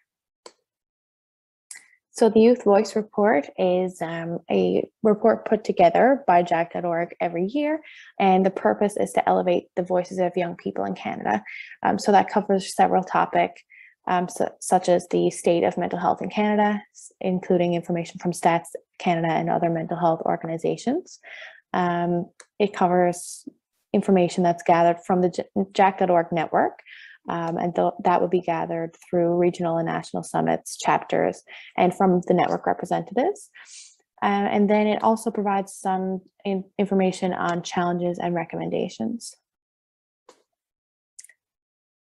So most recently, the findings of the 2020 Youth Voice Report found that some challenges included academic stress. About 94% of post-secondary survey respondents reported that academic stress creates mental health struggles for them and their peers. Uncertainty about digital mental health services, which as we know, we significantly relied on during the course of the pandemic. 37% um, of respondents reported accessing digital mental health services during COVID-19, compared to 57% accessing mental health services generally before the pandemic. Um, and only 44% said that they believe digital health services would meet their mental health needs. And the last challenge that was identified was difficulty finding the right fit. 61% of Jack.org survey respondents believe that there are few resources to support those struggling with their mental health in their community, and an even higher number, which was 65%, believe that there is a lack of culturally sensitive resources available. Uh, so some of the recommendations that were identified included encouraging the use of teaching practices that support student well-being, help young people access and navigate online mental health services, and to increase the availability of culturally appropriate mental health services.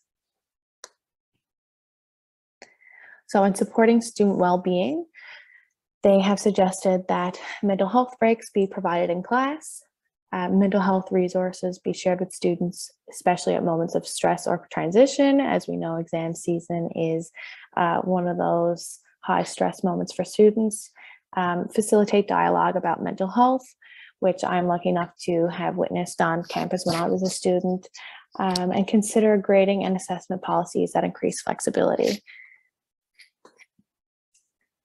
So for the next recommendation, navigating online services, uh, the Youth Voice report has recommended that um, clear communication with youth, youth about available services is prioritized um, to consider and address inequities in internet access, to look at digital services as a key uh, complement in a suite of care options, to collect more data on youth perceptions, youth barriers, and outcomes to digital services, um, and involve youth voices in the design and development of services, which is what Jack.org is all about.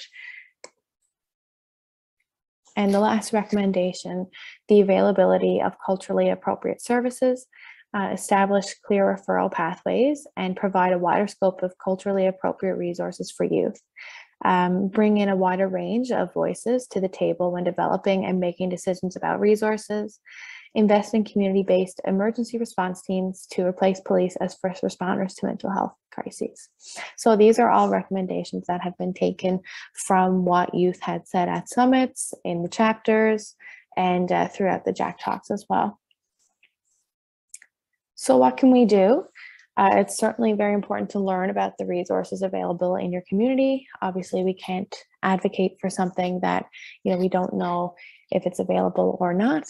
Um, reach out to local change makers. So sometimes this might look like local politicians, it might look like healthcare providers, it might look like advocates that are already established in the community, um, and listen and amplify voices of those who interact with the mental health system, which is extremely important. Of course, this is what this um, virtual patient health summit is all about, is amplifying the voices of people who use these services. So thank you very much for having me today. I hope that you guys really enjoy the rest of the summit and uh, take care. Thanks.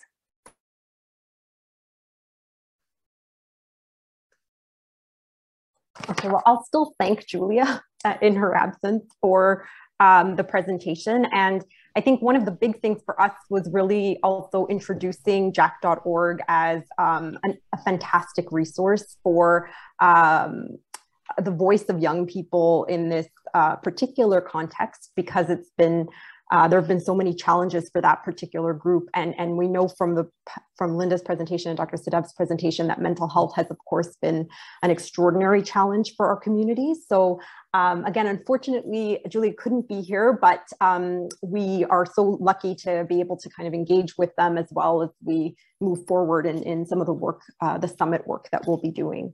Um, so we are going to spend a few more minutes on questions uh, that we didn't get to before Julia's uh, presentation. Um, one of the things that uh, Julia talked about was getting the amplifying voices and linda talked about this as well in terms of um, ensuring that the patient voices are at, you know in, integrated in what we do um, Dr. Sehdev, this can be a big challenge. Uh, so I'm going to I'm going to pose this question to you first. One of the things that Linda had mentioned was um, about elective surgeries and how you know that definition can be problematic in how patients view these things and how um, and how traditionally clinically we, we look at these things and how we've been um, defining this so how can we get policy and decision makers to understand a real definition of elective elective surgeries. Um, Louise posed this question and she mentioned that she heard a doctor on CBC say they've been defining everything other than COVID related treatment as elective. So any comments on that from you? And then I'll turn it over to Linda. Yeah, I mean, it's very interesting. You know, if you look at what happened in Italy, if you recall, Italy had a big problem with COVID in the early days, but they didn't delay any cancer operations. And in fact, they rapidly worked together across boundaries to establish one hospital as the lead for all cancer work to make sure it didn't get disrupted. Uh, and they had the worst flare at the early days of COVID. So I think getting back to the previous speaker, talking about the need to better have you know, better collaboration between levels of government, between governments of different hospitals to help to you know handle these uh, these issues. In our cities, in our city of Ottawa, we actually talked about maybe in the future developing a program where several of the key uh, community hospitals would take the lead and continue to operate on cancers nonstop and even take surgical cases from the downtown academic center that was the COVID hub to help to, you know, help to rationalize our resources. It never had to happen because things got better fast enough. But for a while, you know, all the cancer operations were called elective unless the operation was dealing with something that would otherwise kill the patient within seven days. Now, most cancer most cancers don't have that imminent threat of death within seven days, so every cancer was called elective. And we really struggled, you know, thankfully with um, tumor board meetings with committees of doctors together saying this was truly urgent, we were able to override that case by case, but it was a lot of work and very stressful. So I think in the future, we should have kind of emergency systems in place to better handle that kind of disruption again. Thank you so much. And um, Linda, I, will I'll turn it over to you to see if you had anything to add to uh, Dr. Sehdev's perspective from uh, patient group um, perspective. Well, you know, from my disease group, and you know, I talk, you know, joint replacement surgery is is front and center, and and uh, you know, the the wait times before COVID were really poor. Like they just, there was a focus on uh, wait times, you know, with the 2005 health accord and things kind of got under control a little bit and they, some new, you know, innovative models of central triaging came out. Um, and those things are, are still kind of happening in the background, but I just, I think we need to change our definition of elective surgery. Um, you know, there's no question cancer surgeries are critical um, you, know, you know, people will die. Um, but, you know, I've said for a long time that sometimes there's worse things than dying. And, you know, when you think about some of the, what, what our patients live through, and, you know, I've been there, I know what it's like to wait for a hip replacement. And, you know, the one time was over a year. The last time was about five months. But, uh, you know, it's it's a very very awful time. So you know, but technically, I've lost you know you know a couple of years of my life waiting for a joint replacement surgery that I could have been with my grandchildren. That you know that I could have spent you know enjoying my life. You know, living with RA for 40 years has not been a picnic. And so every day that I can have where I can enjoy life is important to me. Um, and I just I just want to see at some point governments have a look of what they're what they call elective surgery. Somebody who's, you know, 50 years old um, with who needs a knee replacement and is off work because the pain's so excruciating they can't function you know, they, they need to be a priority because we want to get them back to work. We can save the system healthcare dollars. But again, you know, when the, the you know, the doctor at the beginning, Steini, I don't want to get his name right, but I mean, he said, you know, that, uh, you know, the just the, the priorities of what these surgeries are. And, you know, what we just need to get a handle on how we're going to make patients and how we're going to treat patients going forward. Thank you. And yes, um, Steini Brown, he did talk about changing our perspective. He quoted someone from a cost center to a value center and how we look at these things um, differently. Um, so thank you both. I, I, have another question for the panel. Um, and actually, Ju Julia mentioned that less than half of people, I think she said 47% of the youth in the survey that they did agreed that virtual care would meet their mental health needs. This is very interesting because we've seen so much, especially from the mental health uh, sector, um, be provided online, which is great. Um, but of course, um, we know that that's not the panacea. And, and so from, um, I turn it over to maybe starting with Linda this time, um, how do you think virtual care will be optimally used going forward for cancer slash arthritis communities? I hope that there's going to be a mix of virtual and in person. I, I, haven't seen my rheumatologist for almost two years because she's on mat leave. And then the, with the pandemic and her being on mat leave, um, you know, it, that's a long time to go for somebody like me who's got such advanced disease without seeing my specialist. My next appointment, I will request to be in person um, just because of that. I, I don't want to, I'm not a doctor. I don't, I want to know from her perspective, you know, do, well, how am I doing from when she saw me two years ago? Because I think there's, you know, if she sees a difference, we need to figure that out. Um, you know, virtual care has been good for me, but I also think we need to make sure that there is going to be that mix because for some things, obviously, it doesn't work for for everything, and and we need to know, you know, there needs to be some guidance and guidelines, and you know, the the research needs to be done, and we just we need to, you know, because I think it can be a huge help for people living in remote areas, people who are disabled and and have difficult difficulty getting out, uh, things like renewals of prescriptions. I used to have to go to my doctor for a renewal for prescriptions that I've been on for 20 years because it would, you wouldn't do it virtually. Well, that's a, that's a waste of my time. It's a waste of his time. You know, so let's get, make sure that resources, healthcare resources are used appropriately. Yeah, I, I, would say, you know, for cancer, nothing replaces seeing our patients, seeing how they're doing, what their functional status is. But if it's just to discuss a blood test or to discuss you know, your blood test is okay, move on with your second round of treatment, virtual care is really good for that. Um, patients really appreciate that. We have well, a large geographic area we're serving, but I've been really struck with how many patients actually you know, prefer coming in. They actually tell us, oh, I like to see you in person. I feel more reassured when I get a thorough assessment. And the Zoom, Zoom has been integrated into our electronic medical system. So we can click a button, launch Zoom, and I think it's actually better than phone. I can see someone's facial expression. I can look at the expression of their spouse and what's really happening by, at the family in their home. Uh, so they all actually have a role, and we're trying to define that better. I get a bit upset when many doctors, at least patients perceive, will not see them in person, not for their sake to avoid COVID because they don't want to open their offices.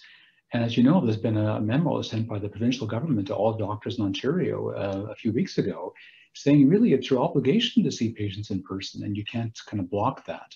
Many patients of mine tell me their family doctor won't see them in person. They only do phone visits and they don't realize if they make the phone visit and the problem is identified that needs to be seen in person, that will happen. But lots of regular medical things are not being addressed properly because of that barrier. So I think finding that right mix and uh, also enforcing, you know, the responsibility of doctors to care for their patients properly, that'll be the challenge. Thank you so much. Um, we do have another question. Um, we have time for a couple more. Um, how do we bring back experienced healthcare staff back to ER rooms after they, they have been trained in the intensive care? Um, big question about how we, I guess, move back um, to um, supporting our healthcare um, our, our healthcare sector in in transitioning back to um, changing our focus back to managing some of these bottlenecks and supporting people. Um, any comments on this one uh, from you, Dr. Sehdev? Uh, it, has been an issue facing my colleagues, and we're also busy with our own silos. I've not looked at that in depth, but talking to my colleagues in different centers, not so much Ottawa, but for example, Brampton, um, Maritimes. Uh, we also serve the Inuit population in Ottawa for cancer needs. You know, I've seen the impact in smaller rural hospitals, especially where they haven't got the resources. It's not just a matter of, I think, of hazard pay, you know, for the staff that often comes up as part of the discussion, but the staff have to feel safe and supported, and, and they can't be burnt out. Uh, if you exhaust the ability of your staff physically and emotionally to deal with their workload, you know, they will not come to work. And we've seen that happen in nursing homes and chronic care facilities so I think that really is not just a, a, political and financial issue. It's also just the, you know, the structure of the care you can provide and uh, also the resources for emotional support, uh, for wellness for the staff to make sure they feel adequately supported. It's a big deal though. Uh, and as more and more staff sometimes have to call in sick all of a sudden because their relative had a positive test and they have to be in isolation, it has this immense sudden chain effect that we have trouble, you know, compensating for on the fly. Uh, I think eventually mass vaccination, herd immunity, if we ever achieve that, uh, and getting the numbers down will be the ultimate solution. Thank you. Linda, Linda, did you have anything to add to this discussion? Yeah, prior to COVID, I think there was, you know, we, we had human resource issues with healthcare before COVID. So COVID has exacerbated it. My daughter's a nurse and I just, I watched with the stress that she went under for the last year and a half. And she's also got four children under the age of eight. So these people have lives as well. And, you know, they, they, they're trying to balance, you know, their profession and taking care of their patients with their personal lives and the personal stresses and kids, you know, homeschooling, trying to, you know, school her kids. She's trying to teach teach your kids in the morning and go to work for a night shift at night. So I think it's just a matter we need to figure out how we're going to support this. I, I you know, I said, you know, the next couple of years we're going to see a huge increase in people needing mental health uh, supports because you know I know just our own patient community that the stresses that they've been on and I I don't think the system's anywhere near capable of handling what's going to come at it. I, I just don't think it is. So I think we need to get creative. Thank you so much. And thank you for raising that question because I think it's important for us all to keep that in mind as we're talking about solutions and just, you know, what we're what the actual people who are doing this work are, are going through in doing that. Um, so we have just another minute left before I introduce our next speaker. Um, to, to leave us on, an, on a, a again a, an action point as we tried to earlier with uh, with Steini, our first speaker. Um, you both talked a lot about um, lessons learned and actual like we framed it as positives maybe even uh, that we we gained from from our learnings from the from the pandemic. Um, if you can um, think about one thing uh, that you want to see as standard practice moving forward and maybe a word on how patients can be part of that solution.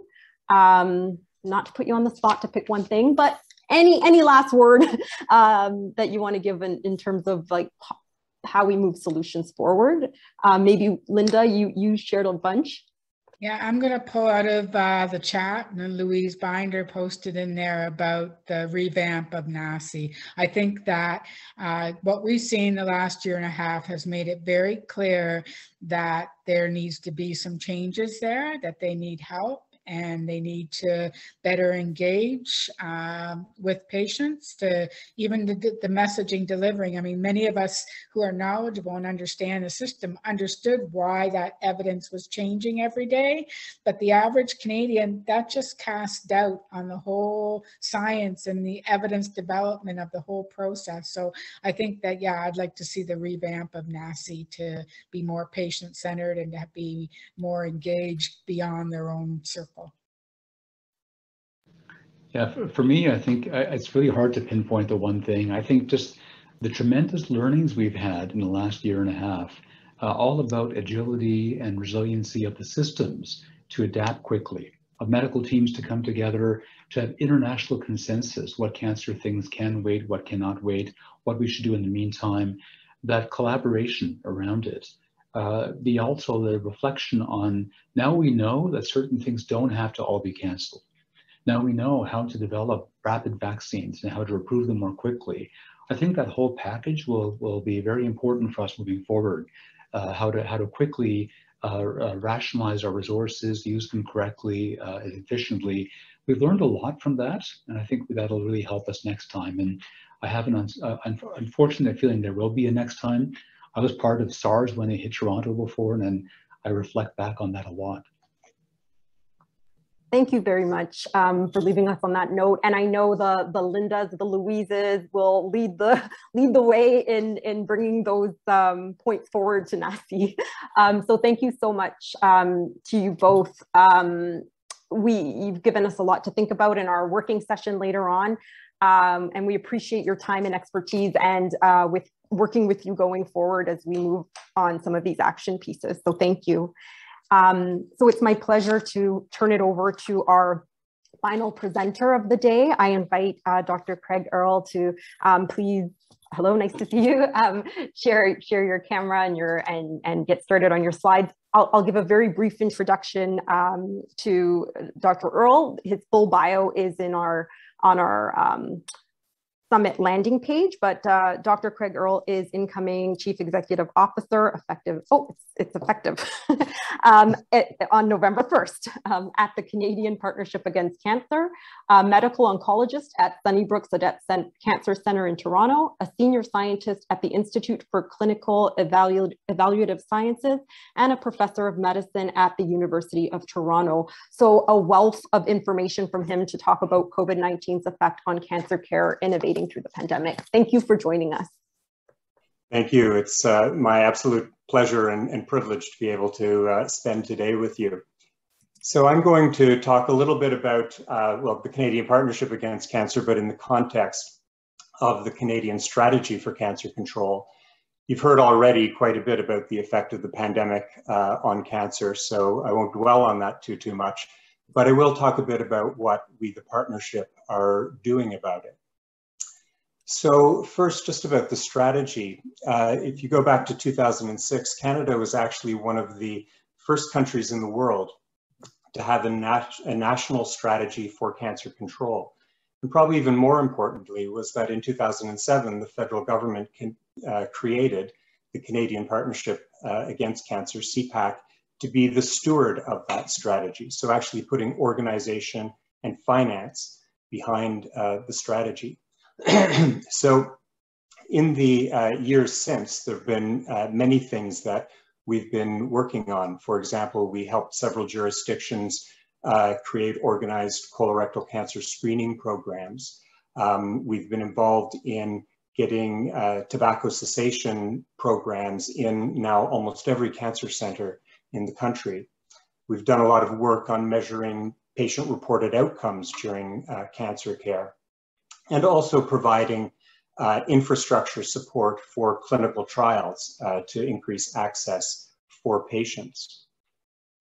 In uh, 2018, the federal health minister asked CPAC to refresh the strategy. And so in 2019, uh, the new uh, refreshed Canadian strategy for cancer control was released. And, and the main differences uh, from the previous one, first of all, was that the theme, the overarching theme throughout this strategy is to increase equitable access to quality cancer care. So a real focus on equity. And one example of that is you'll see there are eight priorities uh, here. And the first five are the typical things that were in the original strategy about prevention and screening and survivorship, et cetera. But the last three are people-specific indigenous strategies around culturally appropriate care closer to home, uh, people-specific self-determined priorities, and indigenous governed research and data systems uh, around cancer. So this is uh, a slide outlining the type of things that you know mostly people have talked about before. I'll maybe start a step earlier and say that prevention has also been uh, impacted quite a bit uh, related to cancer. And one very concrete example of that is HPV vaccination programs as well as hepatitis programs in school have essentially been stopped. And uh, these are, you know, the main purpose is to prevent uh, cancer for those. But as well, as has been discussed, there's been um, people afraid, understandably, to interact with the healthcare system, come forward with systems, with symptoms. Uh, our screening programs were essentially shut down across the country for four or five months after the pandemic uh, started. They've mostly restarted, although not all back at, uh, at full capacity. And then uh, diagnostics. So imaging biopsies. One area that's been very much impacted has been any sort of endoscopic procedures. So I'm a gastrointestinal oncologist, colonoscopies, but also head and neck and uh, respiratory, because uh, those are really affected by COVID protocols around distancing, screening, uh, uh etc. And so, of course, as Dr. Sehdev was pointing out, uh, the fear with all of this is that uh, it will lead to later stage cancers, which require more treatment, more intense, more complicated treatment, and unfortunately expecting that the outcomes uh, can be worse. Uh, and as well as uh, mentioned, you know, the pandemic has not been uh, fair in its distribution. And so there's also concerns about increasing disparities with all of these effects. So in this slide, just showing some of the impacts in primary care, emergency room visits, there's similar graphs around surgery, just showing uh, you know, 50% fewer uh, uh, visits to primary care. And headlines that all show that the estimates right now are that there are approximately 20% fewer cancer cases diagnosed in 2020 uh, in the early parts of the, the pandemic. And it's not that cancer went away, unfortunately. It's that these are cancers that people have been walking around with uh, and uh, will you know, come and present and are presenting now. I think we're already seeing it which leads me to this next slide, which is from the same study that Dr. Sehdev showed. It's a, a, different graph, but showing here in blue, these are the, the diagnoses. So showing how during the pandemic, big uh, decrease from the baseline normal, which is this line. And then we're now starting to see what's anticipated to be a big uh, surge in new cases. And unfortunately, here are the expected uh, increased deaths uh, expected to come over the next few years. This is a, a slide that uh, Dr. Sehdev showed. Um, I'm actually going to point out a different line in it, though. He was pointing about this one about with our current capacity. I think quite uh, interestingly, you get down to this line, this is the line that shows what can happen if we just have a 10% increase in our capacity for two or three years, that we can really have a big, uh, mitigate the effects of the pandemic. And so the, the challenge or the question is how to be able to, uh, to do that. We know that, uh, for example, in Ontario, the government has announced funding more beds, funding for surgeries to be done on evenings and weekends, and that's great. It's a start. We need that sort of thing. The limiting factor, unfortunately, has been health human resources. We know there's a lot of burnout, as Dr. Seta was just saying, in the system. Nursing in particular uh, is uh, a major uh, issue. So, so a lot of challenges in terms of how we can get to that fairly modest uh, surge in capacity that could really help mitigate things. So in these next slides, I'm going to talk a little bit about um, what we've been doing during the pandemic to, to try to help with this issue. And this is all work that, uh, first of all, I'll say we've had patient and family advisors embedded in, in all of our work uh, and doing everything we can to make sure that that's meaningful engagement and constantly looking at it to try to, you know, currently we're looking, how can we increase the inclusiveness and uh, diversity and equity uh, amongst the uh, advisors and advice that we're able to get in our work. When the pandemic started, um, we repurposed some of the funding that we uh, gave to uh, jurisdictions and healthcare systems. We were able to fund some uh, equipment in some places that assisted with virtual care, being able to provide iPads and, and things for people. We supported some lodging for uh, Indigenous patients who had had to travel uh, quite far, for example, for radiation treatment, and then were sort of stuck when the lockdowns came about. Um, we created several initiatives. One was that we brought together the uh, all of the surgical societies to help with some of the guidance around prioritizing both prioritizing cancer surgery among other types of treatments, but then even within cancer surgery, how to uh, prioritize there. And we've also uh, worked with the screening programs and developed uh, advice on how to reopen, how to safely reopen uh, screening programs during uh, a pandemic. And this, we've had a lot of feedback that this has been very helpful in several jurisdictions.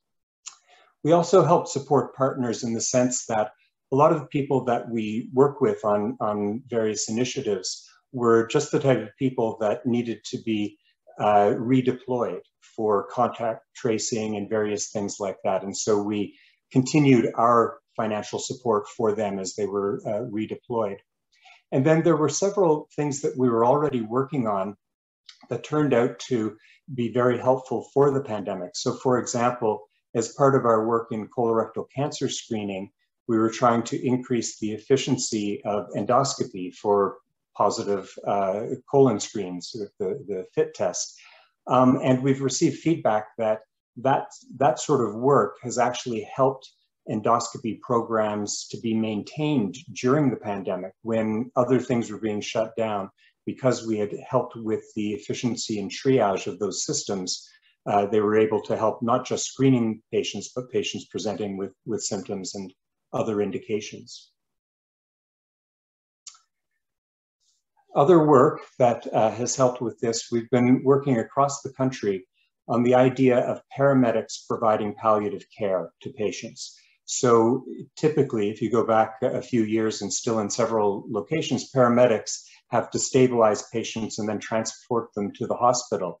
But we've been working on several initiatives where paramedics can be trained to deliver palliative care in the home.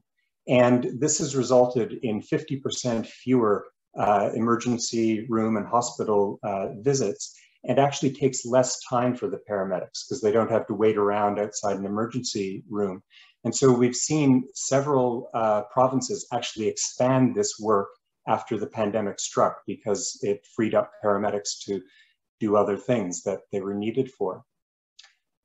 Other areas of interest that have been helpful, we're working with uh, provinces now to try to uh, switch cervical screening from the pap smear to HPV screening, which is a better test. It doesn't have to be done as frequently, but even more importantly, can actually be done through self-sampling.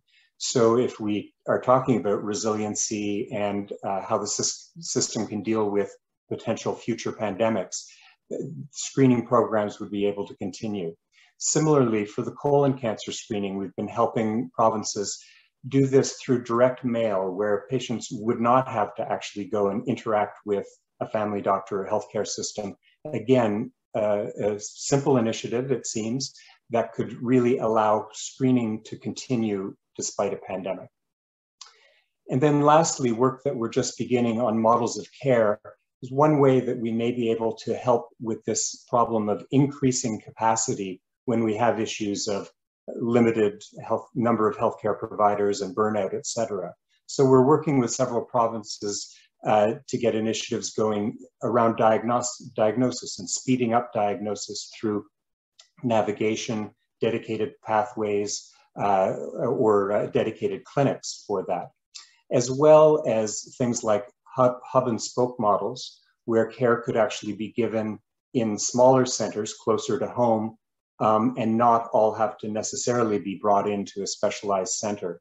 Um, and increasing scope of practice. For example, there are uh, types of systemic therapies that can be given with nurses that aren't necessarily as highly trained, can be given in smaller centers, um, using OR technicians in place of OR nurses for, for different things, trying to use the capacity we have, the resources we have to uh, increase capacity and help reach that sort of 10% surge. And then there's the other important work of the uh, new strategy. So I've already talked a little bit about this, but there's a worldwide global call to eliminate cervical cancer, and we can do it through increasing HPV vaccination, uh, through better screening, switching to HPV screening, as well as uh, improving management. We're also working with every single province in the country to get organized lung cancer screening programs uh, up and running.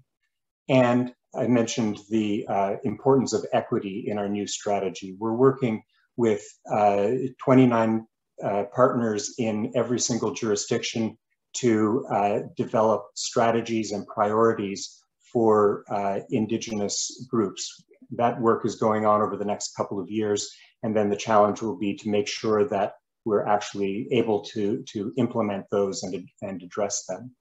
And then lastly, models of care, which I was just talking about around diagnosis and treatment, but we also have very important streams around survivorship and palliative care, in particular, how to better integrate the cancer system with primary care systems. And with that, I'll end, uh, see how much time we have, and happy to take any questions if we do have time. Thank you.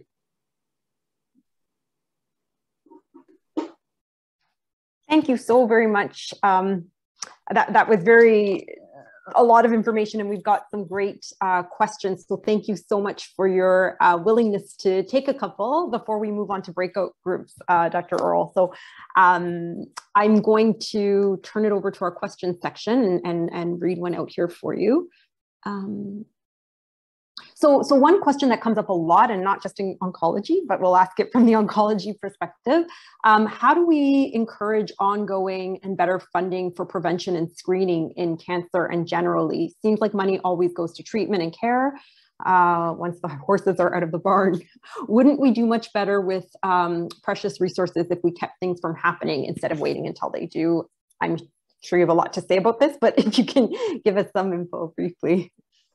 Uh, it, incredibly important uh, question. And it sort of comes to what we saw early on in the pandemic. You know, our healthcare systems are unfortunately set up to deal with crises, uh, to deal with rescuing people from diseases that they've developed, uh, et cetera, when with foresight, we could actually do so much better with, uh, with prevention. You know, things like improving the built environment, encouraging uh, exercise, healthy eating, those sorts of things, probably more important than uh, many of the other things that we do.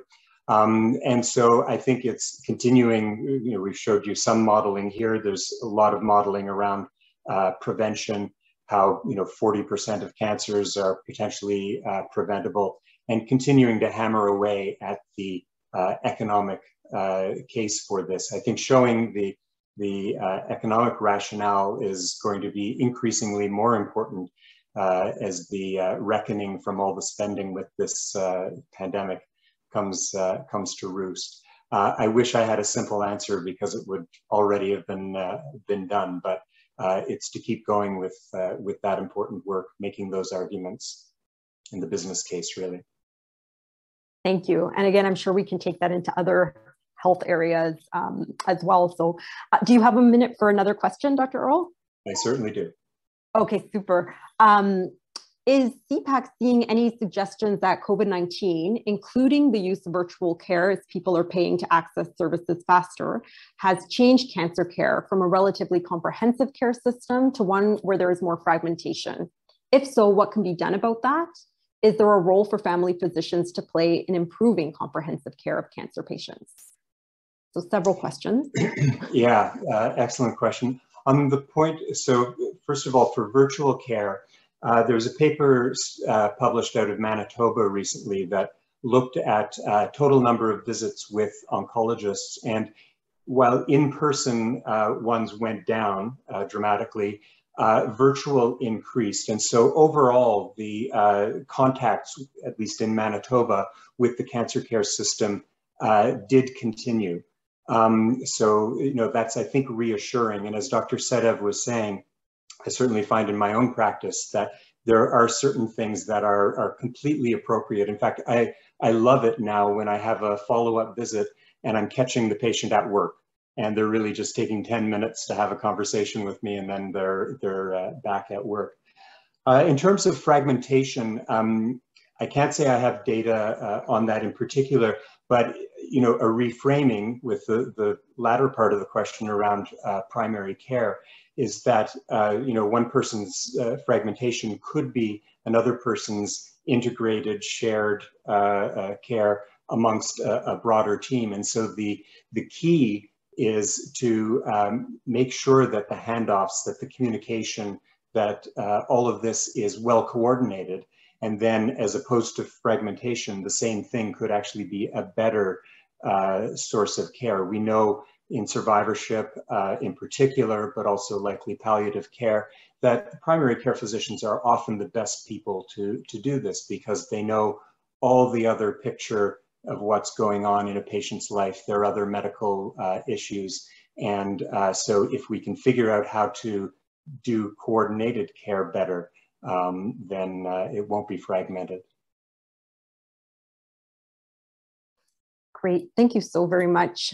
Um, there's definitely a lot to take from this conversation and it will feed into the, the sessions that we're having um, after this today's session and over the course of the rest of the summit. So thank you so very much. Um, I think we don't, we, we need to wrap up our questions though, um, to keep to our agenda. So I just wanna thank you again for, for joining us and presenting and, and offering some insights into solutions that uh, people asked about. So thank you so much again, Dr. Earle, for your time and your my, expertise. My pleasure. Thank you. Um, so I will um, again take a moment to thank all of our speakers today uh, and turn it over to our moderator for the summit, Leah, to get us going uh, into our working group sessions. Thanks, Leah. Thanks, Antonella. Fantastic content today. Wow.